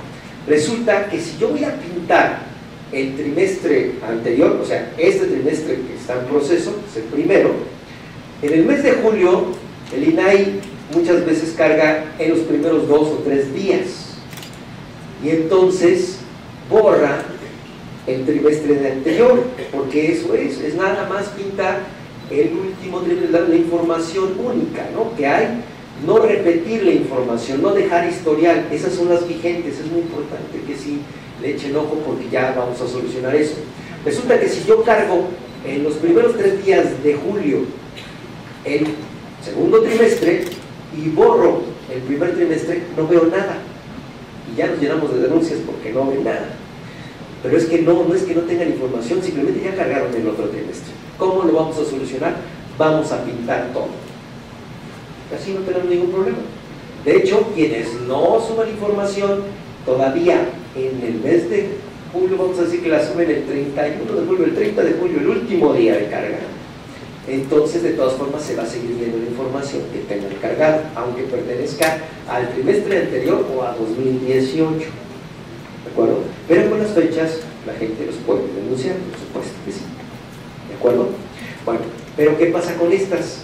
En las que sí tengo o debo de tener información. Si yo no la veo y veo que está aquí la flechita y le poner aquí cero registros, es denuncia inmediata. Y ven qué fácil está denunciar. Pongo aquí denuncia y me aparece ya el formato precargado. Aquí está. Gastos de comunicación, bueno, la federación, el instituto, gastos en comunicación, etcétera. Este, aquí está el ejercicio, el trimestre, la ley en este caso, este, y la fracción, y de hecho yo puedo seguir denunciando aquí mismo más fracciones. Se fijan, puedo ir pasando de este lado más fracciones todavía. Pero específicamente, la gente que no entiende mucho a esto, lo único que tiene que hacer es motivo de denuncia, tal cosa. No estaba la información de este, este cargada. Eso es todo lo que tiene que hacer. Lo demás ya salió. Puede dar o no un nombre no es necesario que lo dé por lo que preguntabas, por eso lo hacemos exactamente. Y lo único que sí tiene que dar es un correo electrónico. Puede ser de Batman, puede ser de Superman, no hay ningún problema, arroba Gmail, etcétera. Con eso es suficiente para nosotros porque por ahí se les va a estar informando de, cómo va el proceso. ¿De acuerdo? Entonces, aguas con eso. Va a ser muy fácil de hecho. Ok, no estaba de este. Entonces, ya me sale aquí la información. En un principio les digo, se va a pintar esto. ¿Qué pasa con Veracruz y con varios estados? Perdón. No, no sé, para no seguir, tengo una pregunta. En el caso de las que se tienen, se tienen que cargar semestralmente, y que en este caso, como dices, en el primer trimestre no vamos cargado y tendríamos que cargar hasta el segundo semestre, o en el primer trimestre con notas. Bien. ¿Cómo sería ahí? Ya te me adelantaste porque iba para allá, pero de una vez lo contesto. No, no, está bien, de una vez lo contesto porque en efecto, esto son las fracciones trimestrales, las fracciones semestrales. ¿Qué tendría que estar cargado ahorita, por ejemplo, en la fracción de sueldos, que es este, semestral? No, Aquí es no, trimestral. Aquí es trimestral. A ver, ¿por qué no es la de los informes, por ejemplo, los informes que le rendimos al IBAI. Perfecto. Los informes, los inventarios, o qué otra ahí, creo que hay, hay otras por ahí, otras. La 51 y 58, me acuerdo de De acuerdo. Muy bien. Depende lo que diga el lineamiento. Por ejemplo, las, eh, en este caso, el inventario. El inventario dice el lineamiento que tienen cuando cambia el inventario 30 días para actualizar la información. ¿sí? O sea, ¿qué pasa si yo llegué al final de 2018 y no tengo que informar nada? No compré ninguna computadora, ni ningún escritorio, ni nada que informar. ¿Cuál debo tener cargada? La de 2018, el segundo semestre. ¿Están de acuerdo? Y es información vigente, o sea, solamente la debo tener una sola vez. ¿De acuerdo? Muy bien. Pero si yo ya compré escritorios, si ya compré computadoras, ya tengo movimientos y lo que tengo que hacer es actualizar todo el listado de inventarios. Por lo tanto, ya tendría, o sea, tengo 30 días hábiles para cargar la información del primer semestre de 2019. ¿Están de acuerdo? Lo mismo, bueno, para nosotros, el sueldo nos pasa igual, que todo el mundo dice, oye, pues yo lo que tengo que tener es de 2018 y nos ha pasado ya con el presidente y todo, porque en 2018 revisaron la información de el sueldo del presidente, pero revisaron el primer semestre de 2018 y pues estaba Peña todavía, ¿no? Y entonces nos dijeron, está desactualizado, no sirve, está Peña pues sí, pues es que revisaste el primer semestre y todavía era el presidente y además ahí se tiene que quedar, ¿no? Entonces, ¿qué pasa en el primer semestre para nosotros ahorita? La tendríamos que cargar hasta julio normalmente, pero todas las dependencias tuvieron cambios. No sé si ustedes, pero a nosotros nos bajaron el sueldo y cosas como esas, ¿no? Entonces, por supuesto que sí hubo cambios, hubo cambios en el tabulador y normalmente cada año pues se ajusta el tabulador, ¿no? Poquito, pero bueno, al alza algunos, a la baja nosotros, bueno, bueno, se ajusta el tabulador. Claro que hay cambios, pues hay que volverla a capturar. Entonces, por ejemplo, el INAI ya la capturó otra vez completa. Entonces, en efecto, legalmente tendría que estar la de 2018 y es lo que se pinta, pues se va para allá es lo que se pinta la de 2018, porque es lo que debe estar pintado. Pero en este caso ya deberían de haber cargado. No por default, pero casi casi por default, porque cada primero de enero se ajusta el tabulador, pues por lo tanto ya debería estar 2019 en todas las dependencias. Aquí, trimestral, les digo que nos quieren llevar la contra siempre, no, no. Qué bueno, la verdad yo no estuve de acuerdo con que fuera semestral, Ahí tenemos que hacer algo para ajustarnos, pero trimestrales también. ¿eh? Bueno, entonces, hay un problema aquí que nos hemos tenido y que les pedimos un poquito de paciencia. Aquí tengo, es que casi no se ve, ¿verdad? Bueno, aquí, créanme lo que les digo, está la fecha de inicio, ¿no? Y aquí está la fecha de término. Entonces, una de las urgencias que sí me, ahora sí que me interesaba mucho decirles, este, o más bien comentarles, es que este, la fecha de inicio, es mi campo llave para todo. Hay quienes dicen, oye, yo cargué la información. Por ejemplo, me llegó un caso en que tenía, cargué 20, pero solo me aparecen 12. 8 registros están perdidos. Y el órgano garante le buscó y le buscó y le buscó y no le encontraba. Y entonces me mandan el caso. Y pues muy fácil, ¿no? Me fijé en el archivo de Excel que mandaron y aquí tenía, en lugar de 2018, era de 2018, tenía 2008. Pues obviamente no va a aparecer. Entonces una recomendación, ahora sí que encarecidamente les pedimos es, este campo especialmente, el de inicio, es nuestro campo llave para todo, para pintar la información incluso.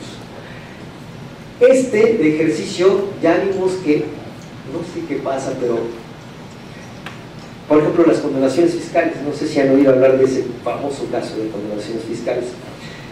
El SAT, a lo mejor hubo ahí mala este, interpretación y mala capacitación, pero está poniendo aquí 1998, 2000, etcétera, está poniendo las condonaciones o las cancelaciones fiscales del año que fue, en el año en que se otorgó ese crédito, en el año en que empezó ese problema. Y eso no nos ayuda para nada. Entonces tuvimos que optar nada más por este campo. Entonces es lo que les encargamos, por favor. ¿Sí? No se olviden de capturar todos los demás bien, eso sí se los pedimos, pero este específicamente, chequenlo bien. ¿Lo podemos validar? Sí, pero entonces vamos a tener problemas con algunos estados y sobre todo por el hecho de que cuando el órgano garante lo revisa, revisa esa información y les dice, a ver, cárgalo de 2017 porque te... Ahora sí que la denuncia que tengo es de 2017. Entonces no van a poderlo hacer o no podrían hacerlo porque va validando que sea del periodo. Es por eso que no queremos hacer eso. Pues con que ustedes se fijen muy bien lo que están capturando en este campo, ya le hicimos. ¿Qué pasa con los estatales? Hay estatales que no tienen ese campo, porque los formatos que hicieron de sus estados los hicieron con los anteriores lineamientos. Entonces hay algunos que no. ¿Cómo le hacemos para ponerlos? ¿Cómo le hacemos para pintarlos? Ahorita lo que vamos a hacer con Veracruz y con todos los demás estados es vamos a pintar de esos estatales todo lo que haya. ¿De acuerdo? Todo lo que haya. No la vamos a dividir por periodo. ¿Sí? Nada más ténganos paciencia, yo creo que es cuestión de dos necesitos, porque vamos a modificar esa pantalla que se había comentado y les vamos a pedir al, al IBAI, perdón, que nos diga exactamente dónde quiere que se le pinte y que nos diga el número del campo. Ya saben dónde están los números de los campos, ¿no? Cuando bajan un Excel, en la parte de la 2, creo que es la 4, que está oculta, la cuarta, está oculta esa, esa este, línea, ese renglón, ahí están los números de campo, para nosotros es muy importante ese número de campo, cuando ya no lo hagan saber, automáticamente se van a pintar en el periodo que corresponde. ¿De acuerdo? Nos pidieron de esa manera hacerlo por año no sé si más adelante alguien diga, no, no, no, mejor por año, ¿no? que es ese como una especie de filtro y tú píntame todos los registros. No lo sabemos dependiendo del uso. Estamos sobre la marcha haciendo las cosas. La usabilidad es lo que más nos importa, entonces igual y cambiaríamos. Yo, yo creo que está bien así por año y pintar es lo último que se debe estar cargando. Por lo pronto ese es la, digamos que el criterio de hacerlo. ¿Ok? Entonces, si se fijan, ya me aparece Nada más esto, pero tengo aquí mis filtros de búsqueda. Los filtros de búsqueda, creo que eso es lo más importante en este caso para nosotros, porque es exactamente lo que quiero saber, ¿no? ¿Qué me sirve saber los 177 personas que están aquí capturadas? Yo lo que quiero saber es de eh, el comisionado presidente, ¿no? Francisco Javier Acuña. Eso es lo que quiero ver, qué tantos viajes se han realizado. ¿Ok? Bueno, pues lo puedo saber aquí con el filtro de búsqueda. Y si ustedes se fijan en un principio solamente salen los campos relevantes. Si yo quiero ver todos los campos, le doy aquí un clic y entonces veo todos los campos. Igual nada más los campos relevantes, etcétera. Pero como les comentaba, igual quiero yo filtrar, por ejemplo, aquí, segundo apellido del comisionado, que es más fácil. Pongo llamas, ¿no? Le doy un enter y es todo lo que tengo que hacer y entonces me sale específicamente ya graficado lo que, o los viajes en este caso de nuestro comisionado presidente en el primer trimestre. Y aquí lo puedo ver más fácil. ¿no? Ha viajado a todos estos estados, estos son los nacionales, tengo los internacionales, él solamente en este primer trimestre fue a puros nacionales. ¿no? Y entonces aquí tengo la información, la suma de lo que se ha gastado en cada uno de los estados, se fijan, la idea de graficar es para que sea más impactante en este caso la información que están recibiendo, pero también para sacar totales. Ya no tengo que estar procesando ni nada de eso, ya supe cuánto se gastó, por ejemplo, cuando fue a Coahuila 11 pesos, quién sabe por qué se gastó 11 pesos, a lo mejor nos compró los chicles. Muchas veces nos pagan los viajes a nosotros, en lugar de erogar nosotros, nos dan gastos de de avión, etcétera, incluso los hoteles, este, es por eso que a veces van a haber cero pesos en el caso, ¿no? Y aquí está, ¿no? Cómo está gastando en este caso por estado. Esta información es nada más este señor, el comisionado presidente. Si yo quiero ver o revisar en este caso la información de uno solo, de un solo registro, aquí está todo. incluso ver los detalles. Esto del ver detalle son las tablas secundarias y así es como me aparecen. O sea, se ve feo en el Excel, está difícil cargar las tablas en el Excel, pero ya en la vista pública ya nos aparece mejor, ¿no? Aquí ya veo el detalle de cómo fueron los gastos. ¿Por qué? Porque aquí tendría que haber sido, aquí no son viáticos, pero también pasajes o cualquier otra cosa, gasolinas o cualquier otra cosa, aquí se desglosa. Pero ya el total, en este caso, me sale aquí, que sería esta. ¿no? Bueno, ¿cuánto regresó? No regresó nada en este caso. Total que aquí está la información y el hipervínculo al informe de comisión y el hipervínculo, en este caso, a las facturas. Igual las facturas, ¿por qué lo metimos en una tabla, en una tabla secundaria? Porque las facturas puede darse el caso en que yo puedo hacer un PDF, a lo mejor fueron cinco facturas y en un PDF lo resuelvo todo y es un solo archivo. Pero hay otros que a lo mejor no pueden hacerlo así, tienen un escáner de esos rudimentarios y entonces se van de una por una, entonces pueden meter varias facturas en, en este campo, en este caso. Bueno, aquí me va a salir la factura, ¿no? Ok. Se fijan, me estoy metiendo al detalle de espero que no me vayan a decirle, por favor. Pero estamos totalmente expuestos. Le voy a poner aquí cerrar, aquí está el detalle de esto, de uno de los viajes, y estos son exclusivamente de él. ¿Qué pasa? Si quiero compartir esta información, lo puedo hacer por redes sociales.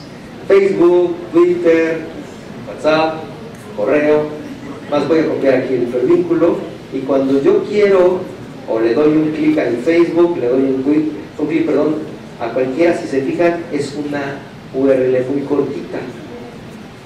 Le pongo la URL cortita y me lleva exactamente a la información de 2019, del primer trimestre, con el filtro de Francisco Javier Acuña Llamas. O sea, ni siquiera la tienen que buscar y entrar otra vez a la federación, al INAI, eh, revisar esto, ponerle el filtro, no, va directo a la información.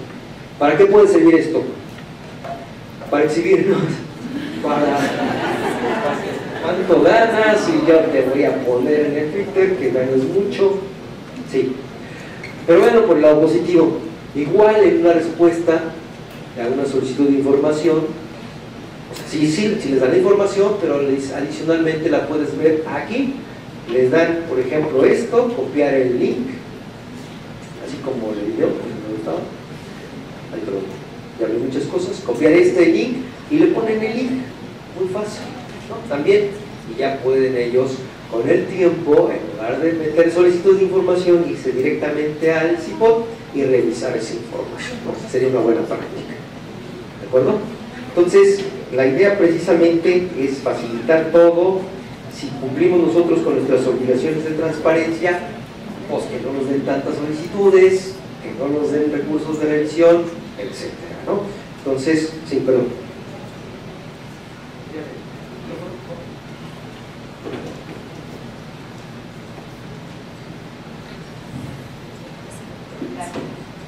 Buenas tardes.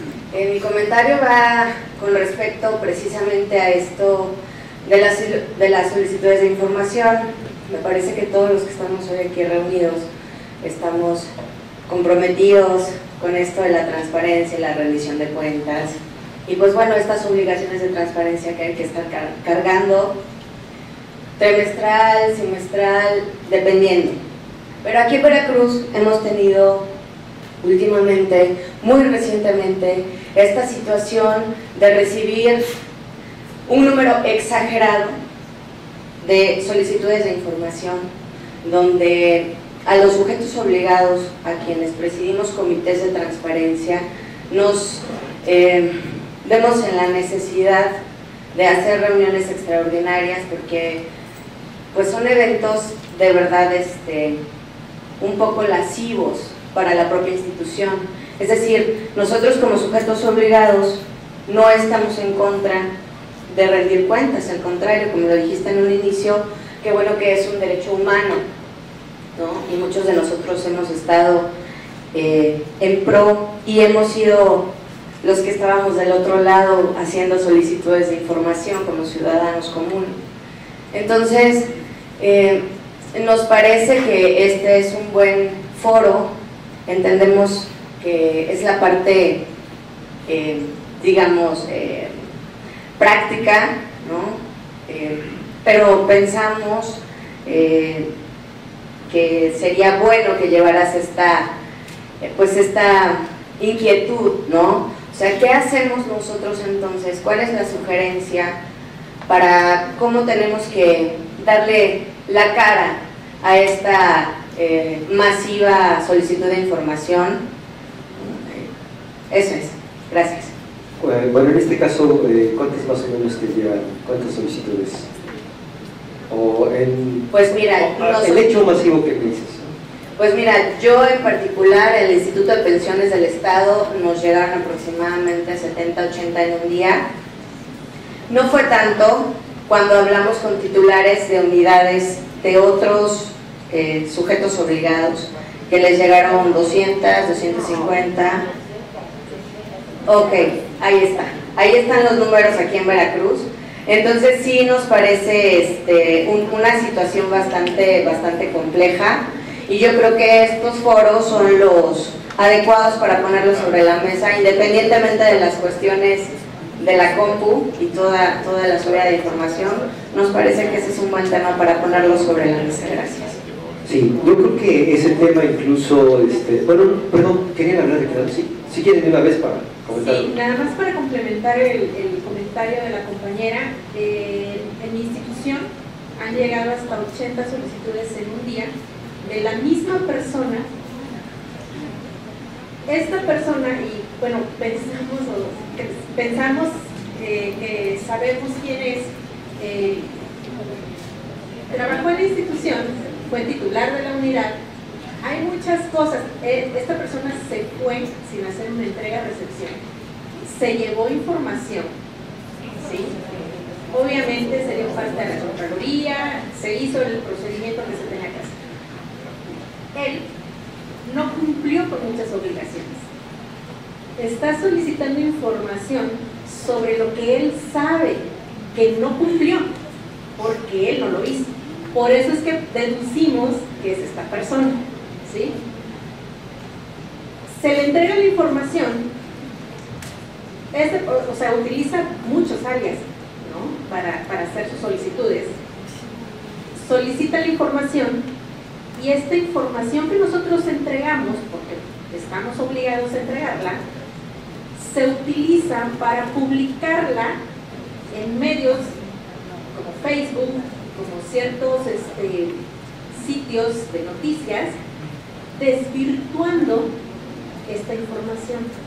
Entonces, no estamos en contra de entregar información, pero sí creemos que ya llega, eh, ha rebasado el derecho que tienen los ciudadanos o que tenemos todos los ciudadanos de conocer el, funcionamiento y el uso de los recursos públicos para eh, efectuar acciones ya molestas y que van a golpear a una institución aun cuando estamos de acuerdo que la información de administraciones anteriores no tendría que reflejarse esas acciones con la administración actual. Entonces, sí creo que llega un momento en que se excede el uso de este derecho y se desvirtúa sobre todo el, acceso a la información. Sí, sí, de hecho, déjenme decirles que pues, no es privativo solamente de Veracruz, nosotros en la federación, la verdad, tenemos incluso identificados quiénes son y todo, pero desafortunadamente, legal, o sea, de manera legal no podemos hacer nada. Es su derecho y ellos pueden incluso hasta desvirtuarlo, y entraría en otro aspecto legal, ¿no? Este, esa información. Al final de cuentas, pues, ustedes, precisamente la idea de la plataforma es que se quede exactamente la respuesta que estás dando. Y como va a ser pública, en algunos casos ya es pública, esa respuesta sencillamente en redes sociales o en donde a lo que les tengan que aclarar, al final de cuentas dicen, la información que se entregó es esta y ustedes pueden consultarla. Por ejemplo, va a entrar en un tema de discusión, ya de hecho se han hecho foros al respecto por lo que comentaba la compañera, por estos, entre comillas, excesos, porque al final de cuentas sigue siendo su derecho, mm, de cómo, bueno, en este caso, hacer uso precisamente de él. Eh, creo que en su momento sí tendríamos que ver la forma, eh, yo creo que esto es a nivel sistema nacional, este, de dar respuesta a eso, porque va a llegar el momento en que, eh, bueno, ustedes tuvieron la suerte que más fueron 80 o 700 a la semana, me dijiste, ¿verdad? Este, bueno, déjenme decirles que nos pasó en vaca, ¿sí? Este, metieron 13 mil en un periodo de dos meses, no, un mes y medio, y de esos 10 mil recursos de revisión. Entonces, si lo tenemos nosotros este, detectado, yo tengo todas esas cifras, por eso es que les he dado todos estos ejemplos, y de verdad, trabajaron el fin de semana, incluso para darle entrada ¿no? a los recursos de revisión, porque las demás solicitudes fueron entre varias este, instituciones. Imagino que algo parecido está ocurriendo aquí. ¿no? Bueno, la verdad es que no podemos en este caso hacer otra cosa más que contestar en su momento quizás sería cuestión de reflexión y creo que estos excesos en determinado momento con el tiempo deberán desaparecer. Al final de cuentas, sí quizás sea ya un dolo, ¿no? Y vamos a tener esos ejemplos, ni modo, siempre, ¿no? Este, pero al final trataré, bueno, yo creo que lo que podemos hacer es tomar medidas al respecto de ese, de ese digamos que casos muy, muy particulares y a lo mejor legislar en su momento, ¿no? porque estamos indefensos ahorita los jueces obligados, no pueden ni siquiera, este, ahora sí que, eh, eh, digamos, impugnar una decisión hasta de los organismos garantes. ¿no? Entonces se verá en su momento y son, digamos que, eh, ejemplos de lo que podemos tomar precisamente para después. En su momento, digo esto, están grabando por aquí, la verdad es que no escapa a los organismos garantes y escapa a los sujetos obligados. Es cuestión, en este caso, de las legislaturas, ¿no? En su momento plantearle este tipo de problemas cuando son realmente ofensivos o excesivos, incluso para desvirtuar la labor de una institución, ¿no? Por lo pronto, sí, reitero, además lo están grabando, que no es, eh, digamos, un tema que nosotros podamos solucionar este, ¿no? Decía la compañera, son foros, sí, la verdad es que son excesos eh, nos pasó, les digo, eh, no solamente fue en Cuernavaca, también fue en Nuevo York. De repente se dispararon las solicitudes de información, de cuenta que va así la, gráfica y de repente el año siguiente bajó acá, ¿no? Y entonces, pues sí, ya, ya van varias veces. Estoy en Colima, perdón, Colima y este, Morelos. Perdón, aquí iban a preguntar algo y... Sí. Ah, perdón.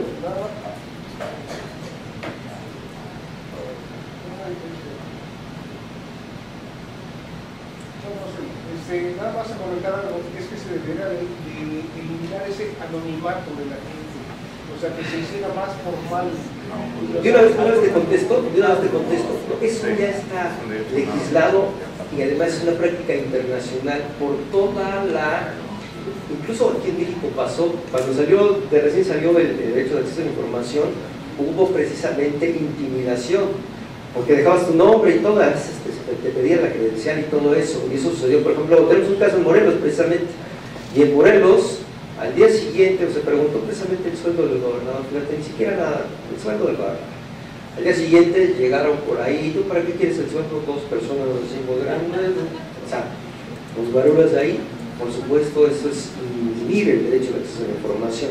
Entonces, de manera, es una práctica internacional, ya está, digamos que legislado eso, de que debe ser anónimo precisamente para no, incluso en algunos regímenes, o regímenes, perdón, sí, exactamente, ¿no? Entonces, por eso, sí.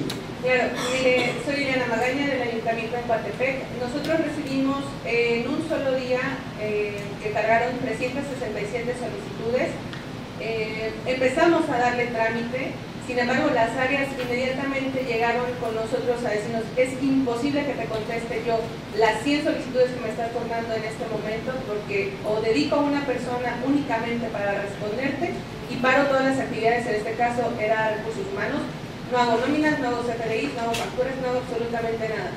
Si es importante que se lleve este tema, se lo pediríamos, creo que es de manera unánime, porque no podemos continuar con esta situación nosotros lo llevamos ante comité, este, se emitió un acta del comité de transparencia para poderle dar trámite a esta solicitud y decirle sobre este abuso al derecho de acceso a la información que está ejerciendo. Se turnó ya la Comisión de Transparencia del Ayuntamiento para que también sea este, comentado en Cabildo todo este, todo este material que nosotros estamos reuniendo, si en algún momento se llega a requerir, presentar. En este caso sería con el órgano garante local, el IBAI, ¿eh? totalmente con el IBAI. Nosotros no, no tenemos aquí este, injerencia, la verdad, sobre ese tipo de cosas y todo.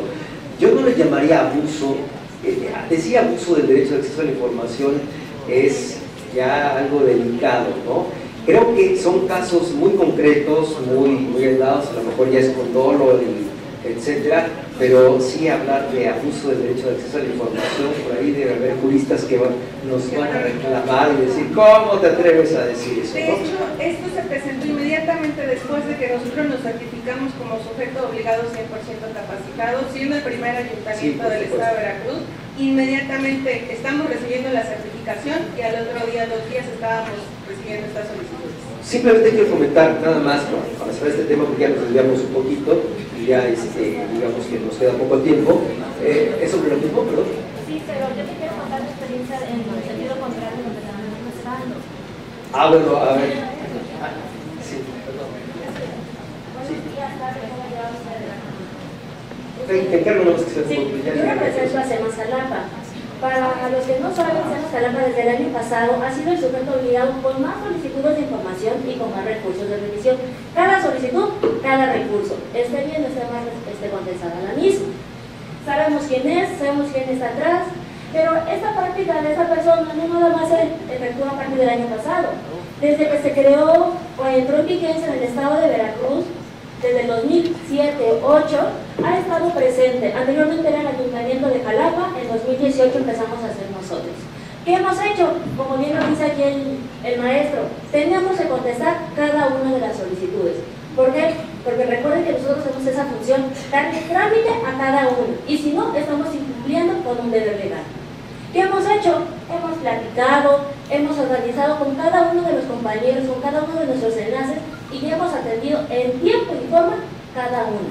Han sido mínimas las que hemos pedido prórroga y ha sido porque requieren un tratamiento específico. Nos hemos ido a recurso, hemos tratado en la medida de lo posible contestar en los tres días, cinco días que nos pide el sea, es un ejemplo de que se puede. Claro, tenemos que verlo con el IBAI porque al final es el órgano que nos rige y nos garantiza esto. El IBAI, pues, yo he estudiado sobre el, eh, sobre el abuso del derecho. Hay factores que hay que complementar. Lamentablemente en el estado de Veracruz, o el ejercicio que hace esa persona, no se cumplimentan. Yo le pregunto a usted, ¿cuánto tiempo tarda una persona en presentar un recurso de revisión a través de la plataforma? Ya es muy poquito tiempo, ¿no? Ya es básicamente, ya aparecen todos los datos. Okay. Porque yo he detectado que en un minuto me presenta cinco recursos. Sí, sí. Y este, la verdad, ¿quién empieza a hacer la prueba? Y yo me llevo tres minutos haciendo un recurso. Dije, entonces no es posible, no es una persona. Es esto a través de un grupo de personas que ser. se han caminado quizás a entorpecer las funciones. Y yo les pregunto a todos, ¿qué es lo más sustantivo o cuál es el servicio primordial para cada uno de los estados? El agua. No hemos dejado de atender el agua a pesar de haber fugas, tanteos y todo lo que conocen. Y se Ok. ha atendido y es una labor, la verdad, reconocida por cada uno de los integrantes que trabajan en eso. Muy bien, compañera, perfecto. Te agradecemos la, la, la aportación que nos dices. Muy bien. Esto tiene mucho que ver, por ejemplo, eh, la verdad es que sí, hay casos que, como las compañeras se organizan y pueden hacerlo, hay otros que, que sí te rebasan, te rebasan de plano, este, eh, pero bueno, eso yo creo que en su momento se va a ver, ¿no? Permítame nada más comentarles ya esta parte final, disculpe que me haya sentado para ya una vez enseñarles todas las, las monerías ahorita que les hemos puesto y que les vamos a seguir haciendo, ¿no? Por ejemplo, aquí yo puedo ver realmente todo lo que se ha gastado, me saca totales.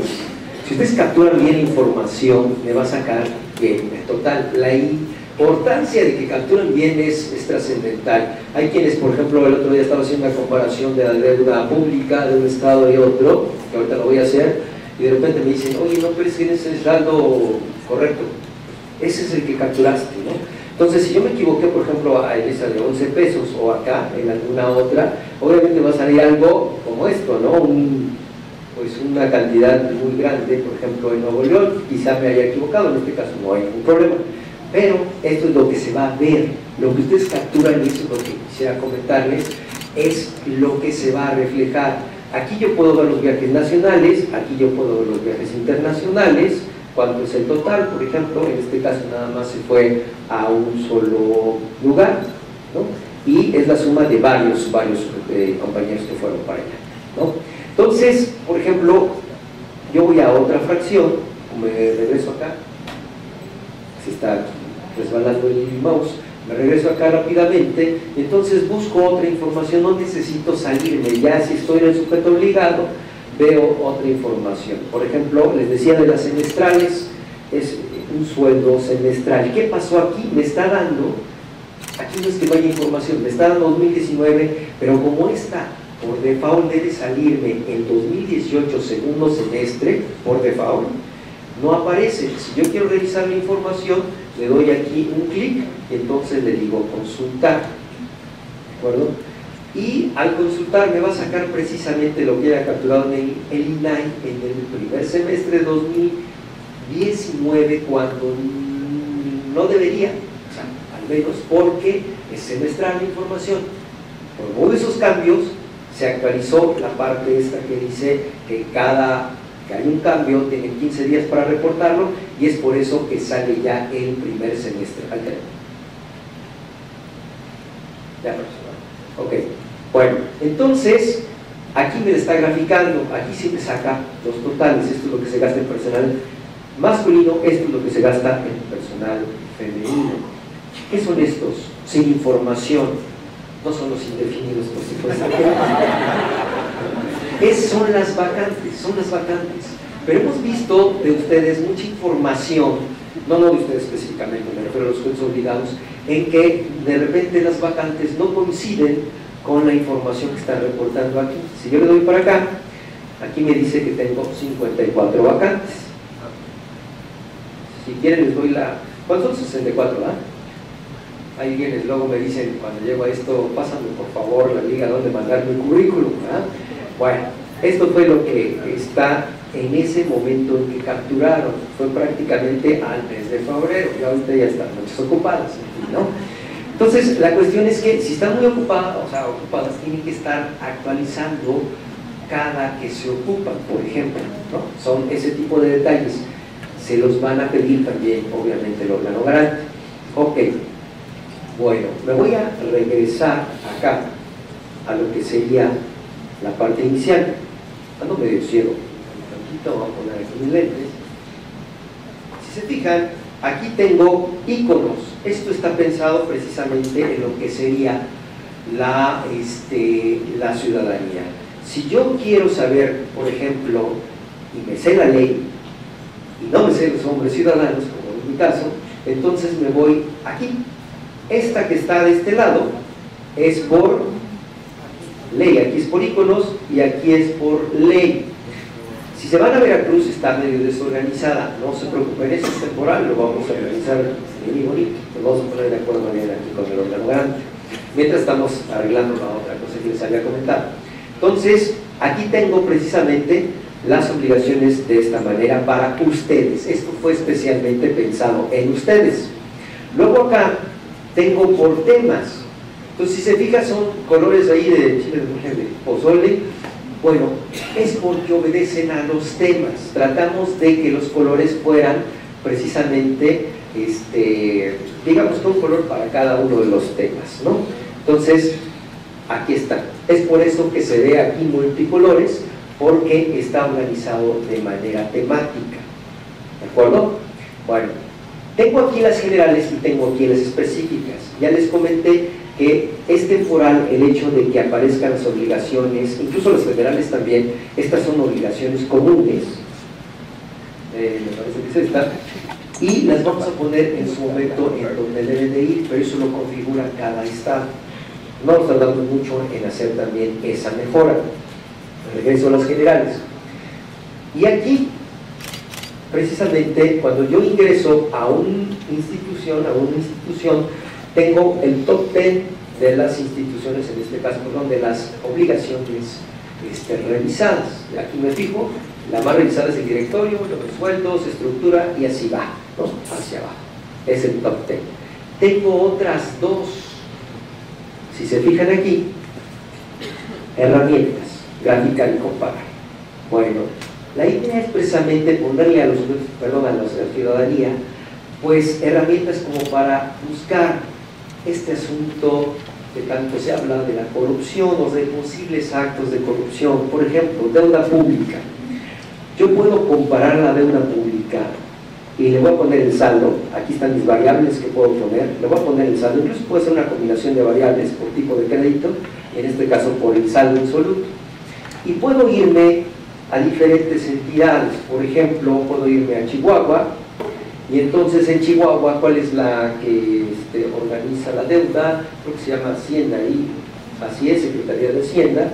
Y entonces con que le ponga HA, pues ya me pasa de este lado.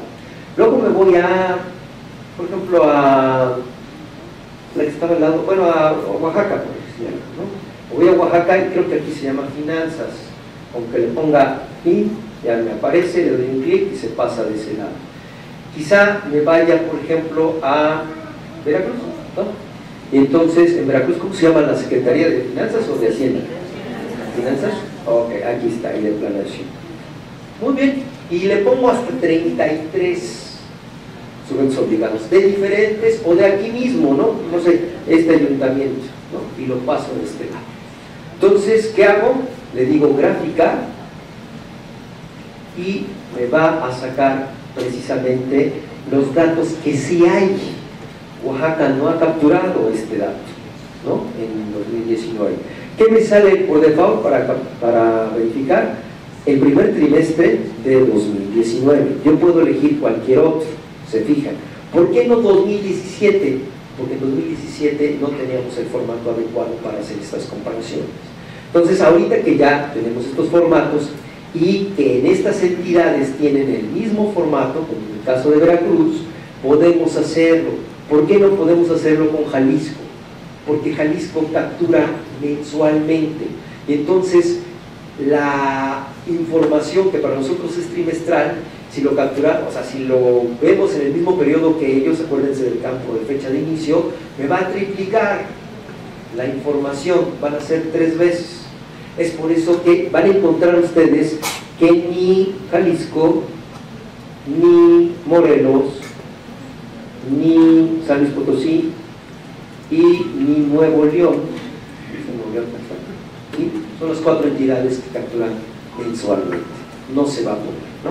Entonces, si tenemos las mismas reglas, lo mismo, sí vamos a poder hacer esas comparaciones. Por ejemplo, yo quiero hacer una comparación aquí de la fracción de viáticos, por decir algo, ¿no? ¿Cuánto se gasta en gastos de comunicación? Bueno, aquí está la de, comunicación social y esta sería la de viáticos. Solamente le tengo que poner el importe total erogado y, por ejemplo, puedo ver, estábamos con el INAI y voy a ver al INAI, ¿no? Nosotros hicimos allá una especie de, ¿cómo se llama? de acrónimos para todas las instituciones, entonces es un tip que les pasamos aquí a los de Veracruz, para que sea más rápido ¿no? encontrar aquí la información. Por ejemplo, me voy, no sé, a... Estaba en Chihuahua, me voy a Chihuahua también, y aquí le pongo, allá se llama Acceso y Secretaría de bueno, Institución, Chihuahuense de Transparencia, ¿no? Ok, ya, eso es todo. ¿Qué me va a hacer por default? El 2019. Si quiero 2018, todo lo 2018 le hubiera puesto 2018 y además le pongo seleccionar todos los trimestres, ¿no? Le doy aquí graficar, eso es todo lo que tengo que hacer, y entonces me sale aquí una gráfica y se fija la diferencia. Bueno, esto de ver las diferencias sí está mm, gráficamente pues más peligroso tal vez, ¿no? Pero a la vez pues es información real, es información pública, al final de cuentas tenemos que publicar, pero también nos dice cuál es el comportamiento de nuestros gastos, y eso es lo que dice exactamente la Constitución tienes que poner tus indicadores del gasto, etcétera, este, el ejercicio del presupuesto, de cómo lo estás haciendo. Esa fue la idea de hacer esto, esta graficación. Hay un último punto, perdón por irme tan rápido, pero pues ustedes le van picando, les dejo ahí a las dudas, y entonces ustedes ahí lo van viendo. Si yo sé, es como un buscador esto, si yo sé qué buscar y en dónde buscar, lo puedo hacer, por ejemplo, contratos, ¿no? Los contratos de obras y servicios Si yo quiero, por ejemplo, buscar aquí en invitación, o, perdón, sí, licitación o invitación, puedo hacerlo, quizás, no voy a ir al trimestre anterior, voy a hacerlo así, y entonces busco en los cuatro, recuerden, este, cada contrato se captura, digamos que si no ha terminado su, vigencia, se captura en el siguiente trimestre, entonces me van a salir un montón, pero puedo hacer esto, por ejemplo, buscar, no sé, en la federación, en el grupo aeropuertario de la Ciudad de México, en México, está. Puedo buscar también en otra institución muy grandota, que sería CACUFE. Eh, puedo buscar en otro estado, una en Aguascalientes, en la Secretaría de, por ejemplo, Infraestructura, etcétera, ¿no? Aquí está. Ah, no, es la física del deporte. ¿Sí, verdad? Sí. Lo quito. Disculpen mi infraestructura y comunicaciones, etcétera, etcétera. ¿Qué voy a buscar? Aquí sí me sirven los filtros de búsqueda. Por ejemplo, voy a buscar algo que a lo mejor me interesa mucho, es todos los contratos de ICA. ICA Fluor es la grandota, la chonchota, ¿no? Empresa que es pues, a nivel nacional, y entonces eso es todo lo que tengo que hacer, le digo consultar, y puedo meter hasta 33 instituciones distintas para buscar esa información. En este caso lo hice por razón social y me van a salir, me salieron cinco resultados, que fueron precisamente los del grupo aeroportuario y ahí es donde les dedica, ¿de acuerdo? Pero ¿qué otra forma puedo hacer de búsqueda? Le borro esto de Deita Fluor y a lo mejor lo que quiero es buscar, cuando le pongo aquí, ver todos los filtros, no sé, la opción de cuántos contratos hay de 100.3.3 millones hasta 10 mil millones. ¿no? Puedo hacer esos filtros de búsqueda. Nada más doy en Enter, eso es todo lo que tengo que hacer y a ver cuántos contratos me saca y de dónde me saca. Entonces, si se fijan, la idea es precisamente hacer que la gente llegue a la información que realmente quiera. Con el buscador obviamente va a ser mucho más fácil, pero nos van a salir millones y millones de registros. Si sabemos en dónde buscar y qué buscar, pues entonces le ponemos esto y me sale la información de 136 resultados. ¿no? Aquí yo veo los contratos, todos deben de pasar de 100 millones de pesos y aquí está. ¿Lo descargo? Sí, lo descargo así de fácil. Tengo tres formas de descargar. Esta, que es la tradicional, me la descarga en este momento. Entonces yo le pongo aquí el rango, le pongo descargar, pero baja de mil en mil. Es una opción que no les recomiendo. Mejor mándensela por correo. Por ejemplo, yo aquí me la voy a mandar a mi correo electrónico, le voy a poner así rápido. Bueno, voy a poner institucional para que no vean mi personal. Con datos personales. Arroba inai.org.mx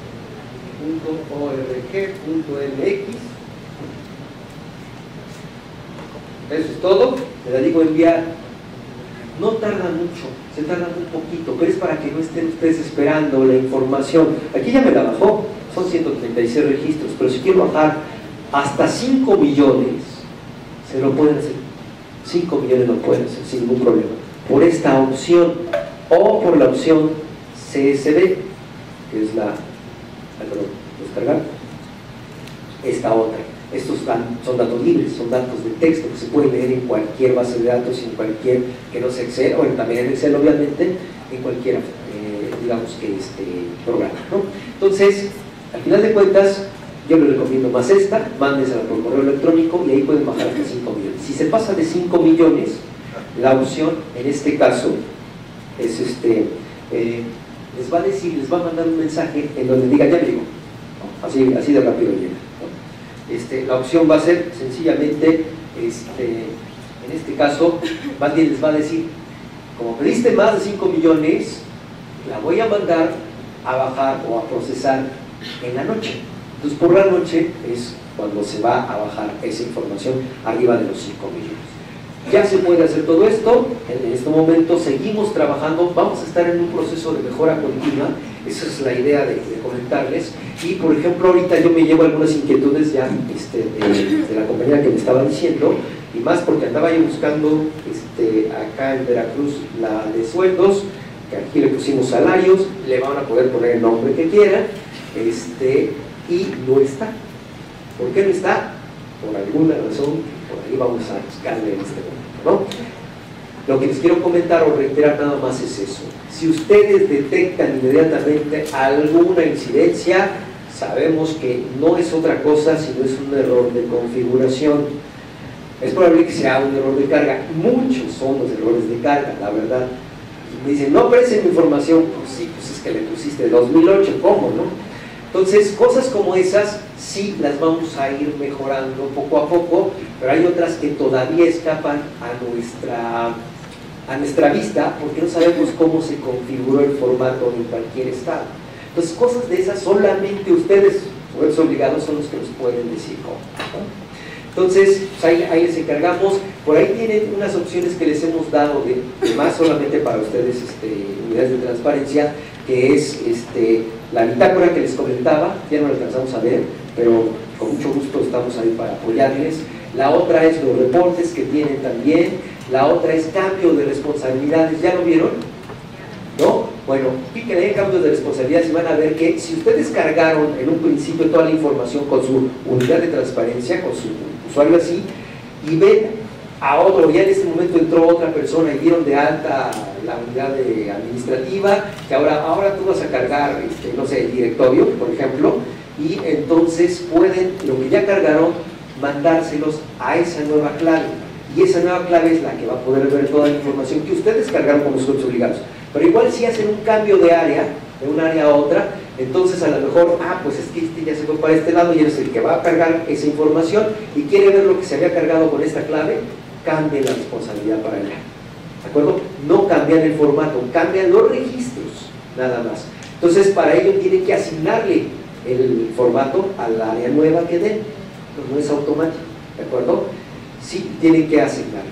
Y después, si quieren, desasignárselas a la otra ¿no? Entonces, son cositas ahí que les hemos dado. Este, y si tienen alguna duda, pues con mucho gusto nosotros todavía les podemos apoyar. ¿no? Pero comisionada, ya me. Este, bueno, eh, la verdad es que es un tema muy, largo y yo pues hasta aquí le dejaría. De todas maneras, ustedes por ahí este, saben que pueden contar con el órgano garante en todo sentido. Si se traba el órgano garante, por supuesto que siempre estaremos para respaldarlos. ¿no? Muchas gracias.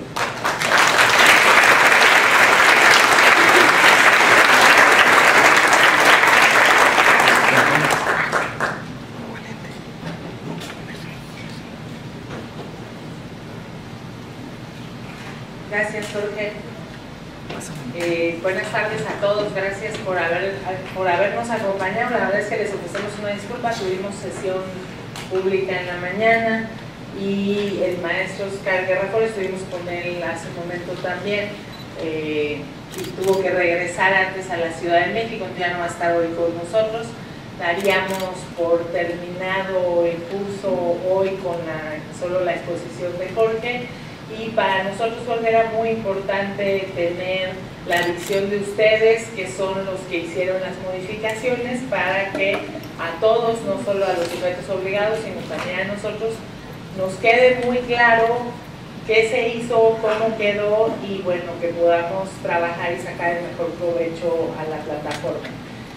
Nosotros, ustedes lo saben, cada vez que pasa algo con la plataforma, levantamos reportes y avisamos constantemente al INAI, platicamos directamente sobre las cosas que creemos que se pueden mejorar y bueno, siempre la opinión y lo que ustedes ven en la plataforma nosotros es muy importante porque respalda lo que nosotros discutimos en el sistema nacional. Entonces, eh, la construcción de una plataforma que sea más benéfica para los sujetos obligados y para la ciudadanía es responsabilidad de todos y pues el que hoy estén ustedes, que hayamos tenido pues tan cuantiosa respuesta, la verdad nos alegra porque esto va a permitir sacarle mejor provecho, pero también detectar aquellas cosas en las que todavía se pueden mejorar, todavía podemos trabajar en ello y que sepan que el INAI está en la mejor disposición, nos lo ha dicho el maestro Oscar Guerra, que es el encargado allá, lo sabemos porque lo hemos, lo hemos visto y hemos seguido trabajando en buscar que funcione de la mejor manera. Muchísimas gracias a todos. Yo le pediría al maestro Arturo que nos haga favor de entregarle el diploma a Jorge.